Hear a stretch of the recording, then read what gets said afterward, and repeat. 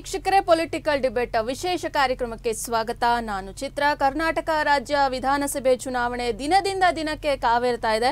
So ಮೂರು ಪಕ್ಷಗಳ list ಏನು ಟಿಕೆಟ್ ಘೋಷಣೆಯಾಗಿದೆ, ಅಭ್ಯರ್ಥಿಗಳ ಘೋಷಣೆಯಾಗಿದೆ. ಸೊ ಈ ಮೂರು ಪಕ್ಷಗಳ ಅಭ್ಯರ್ಥಿಗಳ ಘೋಷಣೆ ಎಲ್ಲೋ ಒಂದು ಕಡೆ ಕೆಲವರು ಅಸಮಾಧಾನಗೊಂಡಿದ್ದಾರೆ. ಟಿಕೆಟ್ ತಪ್ಪಿರ್ತಕ್ಕಂಥವರು ಅಸಮಾಧಾನವನ್ನು ವ್ಯಕ್ತಪಡಿಸಿದ್ದಾರೆ. ಇನ್ನು ಒಂದು ಕಡೆ ಕೆಲವರು ಬಂಡಾಯ ಇದ್ದಿದ್ದಾರೆ. ಇನ್ನೊಂದು ಕಡೆ ಸೊ ಪಕ್ಷಾಂತರ ಪರ್ವವನ್ನ ಕೂಡ ಪ್ರಾರಂಭ ಮಾಡಿದ್ದಾರೆ.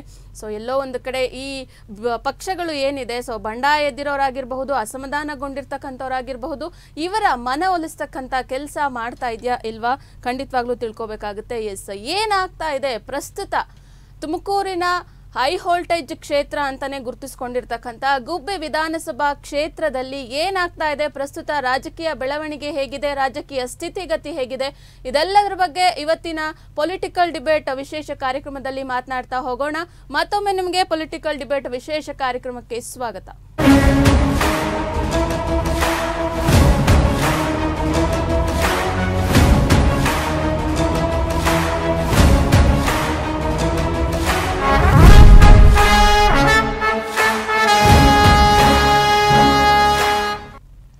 ಎಸ್ ಇದ್ರ ಬಗ್ಗೆ ಮಾತನಾಡೋದಕ್ಕೆ ನನ್ನ ಜೊತೆ ಇನ್ಪುಟ್ ಎಡಿಟರ್ ಮಂಜುನಾಥ್ ಅವರು ಜಾಯ್ನ್ ಆಗಿದ್ದಾರೆ. ಅವ್ರನ್ನ ಕಾರ್ಯಕ್ರಮಕ್ಕೆ ವೆಲ್ಕಮ್ ಮಾಡೋಣ. Sir welcome thank you Chitra. Okay yes ನಾವು ಮಾತನಾಡ್ತಾ ಇದ್ವಿ. ಸೊ ಏನು ಮೂರು ಪಕ್ಷಗಳ ಘೋಷಣೆ ಆಗಿದೆ ಅಭ್ಯರ್ಥಿಗಳ ಘೋಷಣೆ ಎಲ್ಲ ಒಂದು ಕಡೆ ಹೈ ವೋಲ್ಟೇಜ್ ಕ್ಷೇತ್ರ ಅಂತ ಗುರುತಿಸ್ಕೊಂಡಿರ್ತಕ್ಕಂಥ ಗುಬ್ಬಿ ವಿಧಾನಸಭಾ ಕ್ಷೇತ್ರದಲ್ಲಿ ಬಂಡಾಯ ಎದ್ದಿದ್ದಾರೆ ಅಸಮಾಧಾನ ವ್ಯಕ್ತವಾಗಿದೆ ಕಾರ್ಯಕರ್ತರು ಭುಗಿಲೆದ್ದಿದ್ದಾರೆ. ಸೊ ಇದೆಲ್ಲದನ್ನ ನೋಡ್ತಾ ಹೋಗ್ತಾ ಇದ್ರೆ ಪ್ರಸ್ತುತವಾಗಿ ಗುಬ್ಬಿ ವಿಧಾನಸಭಾ ಕ್ಷೇತ್ರದಲ್ಲಿ ರಾಜಕೀಯ ಪರಿಸ್ಥಿತಿ ಹೇಗಿದೆ? ನಾವು ಕಳೆದ ಆರಂಭದ ದಿನಗಳನ್ನು ನೋಡ್ಬೋದು ಚಿತ್ರ. ಏಕೆಂತ ಹೇಳಿದ್ರೆ S R Srinivas J D S ಪಕ್ಷದಿಂದ ಉಚ್ಚಾಟನೆ ಆಗ್ತಾರೆ. ಕಾಂಗ್ರೆಸ್ ಪಕ್ಷಕ್ಕೆ ಸೇರ್ಪಡೆ ಆಗಬೇಕು ಅಂತೇಳಿ ಕೊನೆಯವರೆಗೂ ಕೂಡ ವೆಯ್ಟ್ ಮಾಡಿ ಕೊನೆಯಲ್ಲಿ ಅವರು ಪಕ್ಷಕ್ಕೆ ಸೇರ್ಪಡೆ ಆಗಿದ್ದಾರೆ. ಇನ್ನು ಉಳಿದಂತೆ ಅಲ್ಲಿ ಯಾವುದೇ ಪಕ್ಷದ ಅಧಿಕೃತವಾಗಿ ಇವರೇ ಅಭ್ಯರ್ಥಿ ಅಂತ ಹೇಳಿ ಯಾವ ಪಕ್ಷನೂ ಕೂಡ ಘೋಷಣೆ ಮಾಡಿರಲಿಲ್ಲ ಮೊಟ್ಟ ಮೊದಲನಾಗಿ ಘೋಷಣೆ ಮಾಡಿದಂತಹದ್ದು ಜೆ ಡಿ ಎಸ್ ಪಕ್ಷ. ಅದು ಬಿ ಎಸ್ ನಾಗರಾಜ್ ಅವ್ರನ್ನ ಕರ್ಕೊಂಡು ಬಂದು ನಮ್ಮ ಮುಂದಿನ ಕ್ಷೇತ್ರದ ಈ ಒಂದು ಕ್ಷೇತ್ರದ ಅಭ್ಯರ್ಥಿ ನಾಗರಾಜ್ ಅಂತ ಹೇಳಿ ಎಚ್ ಡಿ ಕುಮಾರಸ್ವಾಮಿ ಅವರೇ ಸ್ವತಃವಾಗಿ ಘೋಷಣೆ ಮಾಡಿದ್ದು. ಅದಾದ ನಂತರ ಶ್ರೀನಿವಾಸ್ ಅವರು ತನಗೆ ಈ ಒಂದು ಜೆ ಡಿ ಎಸ್ ಪಕ್ಷ ಸೂಕ್ತ ಅಲ್ಲ, ನಾನು ನನ್ನ ಸ್ವಾಭಿಮಾನಕ್ಕೆ ಧಕ್ಕೆ ಆಗಿದೆ. ನಾನು ಹೊರಗಡೆ ನಡೆದ್ರೆ ಅಷ್ಟೊಂದು ನನಗೆ ಅವರಿರುವಂತಹ ಸ್ವಾಭಿಮಾನಕ್ಕೆ ಒಂದು ಬೆಲೆ ಬರುತ್ತೆ ಅನ್ನೋ ದೃಷ್ಟಿನಲ್ಲಿ ಅವರು ಕೂಡ ಆಲೋಚನೆ ಮಾಡಿದಂತಹದ್ದು. ಹೀಗಾಗಿ ಅವರು ತಟಸ್ಥವಾಗಿ ನಿಂತ್ಕೊಂಡು ಕೊನೆಯದಾಗಿ ಕೂಡ ಅವರು ರಾಜೀನಾಮೆಯನ್ನ ಕೊಟ್ಟರು ಇನ್ನು ಜೆ ಡಿ ಎಸ್ ಪಕ್ಷದಲ್ಲಿ ಬಿ ಎಸ್ ನಾಗರಾಜು ಅಧಿಕೃತವಾಗಿ ಜೆ ಡಿ ಎಸ್ ಅಭ್ಯರ್ಥಿ ಅಂತ ಆಯಿತು. ಕಾಂಗ್ರೆಸ್ ಪಕ್ಷಕ್ಕೆ ಯಾವಾಗ ಎಸ್ ಆರ್ ಶ್ರೀನಿವಾಸ್ ಅವರು ಪಾದಾರ್ಪಣೆ ಮಾಡ್ತಾರೆ ಅಲ್ಲಿ ಕಾಂಗ್ರೆಸ್ ಪಕ್ಷವನ್ನು ಅಧಿಕಾರಕ್ಕೆ ತರಬೇಕು ಅಂತೇಳಿ ಪಾ- ಕಾಂಗ್ರೆಸ್ ಪಕ್ಷದ ಹೈಕಮಾಂಡ್ ಎಷ್ಟು ದಿನಗಳಿಂದ ಸಾಕಷ್ಟು ಸರ್ಕಸನ ಮಾಡ್ತಾ ಇತ್ತು ಅದಕ್ಕೊಂದು ಬಲ ಸಿಕ್ತು ಶ್ರೀನಿವಾಸ್ ಅವರ ಆಗಮನದಿಂದ.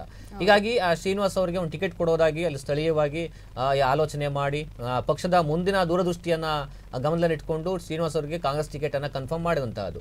ಮೂರನೇದಾಗಿ ಬಿಜೆಪಿ ಟಿಕೆಟ್ನಲ್ಲಿ ಸಾಕಷ್ಟು ಆಕಾಂಕ್ಷಿಗಳಿದ್ರು ನನಗೂ ಕೂಡ ಟಿಕೆಟ್ ಬರಬೇಕು ಅಂತೇಳಿ. ಹೀಗಾಗಿ ಅಲ್ಲಿ ಕೂಡ ಸಾಕಷ್ಟು ಗೊಂದಲ ಇತ್ತು. ಅದು ಕೂಡ ಈಗ ಅಂತಿಮವಾಗಿ ಟಿಕೆಟ್ ಘೋಷಣೆ ಆಗಿದೆ. ಮೊದಲನೇ ನೋಡಬೇಕಂದ್ರೆ ದಿಲೀಪ್ ಕುಮಾರ್ ಆಕಾಂಕ್ಷಿಯಾಗಿದ್ರು. ಎರಡನೇದಾಗಿ ಬಟ್ ಬೆಟ್ಸ್ವಾಮಿ ಅವರು ಆಕಾಂಕ್ಷಿಯಾಗಿದ್ರು. ಚಂದ್ರಶೇಖರ್ ಬಾಬು ಆಕಾಂಕ್ಷಿಯಾಗಿದ್ರು. ನವ್ಯ ಬಾಬು ಆಕಾಂಕ್ಷಿಯಾಗಿದ್ರು.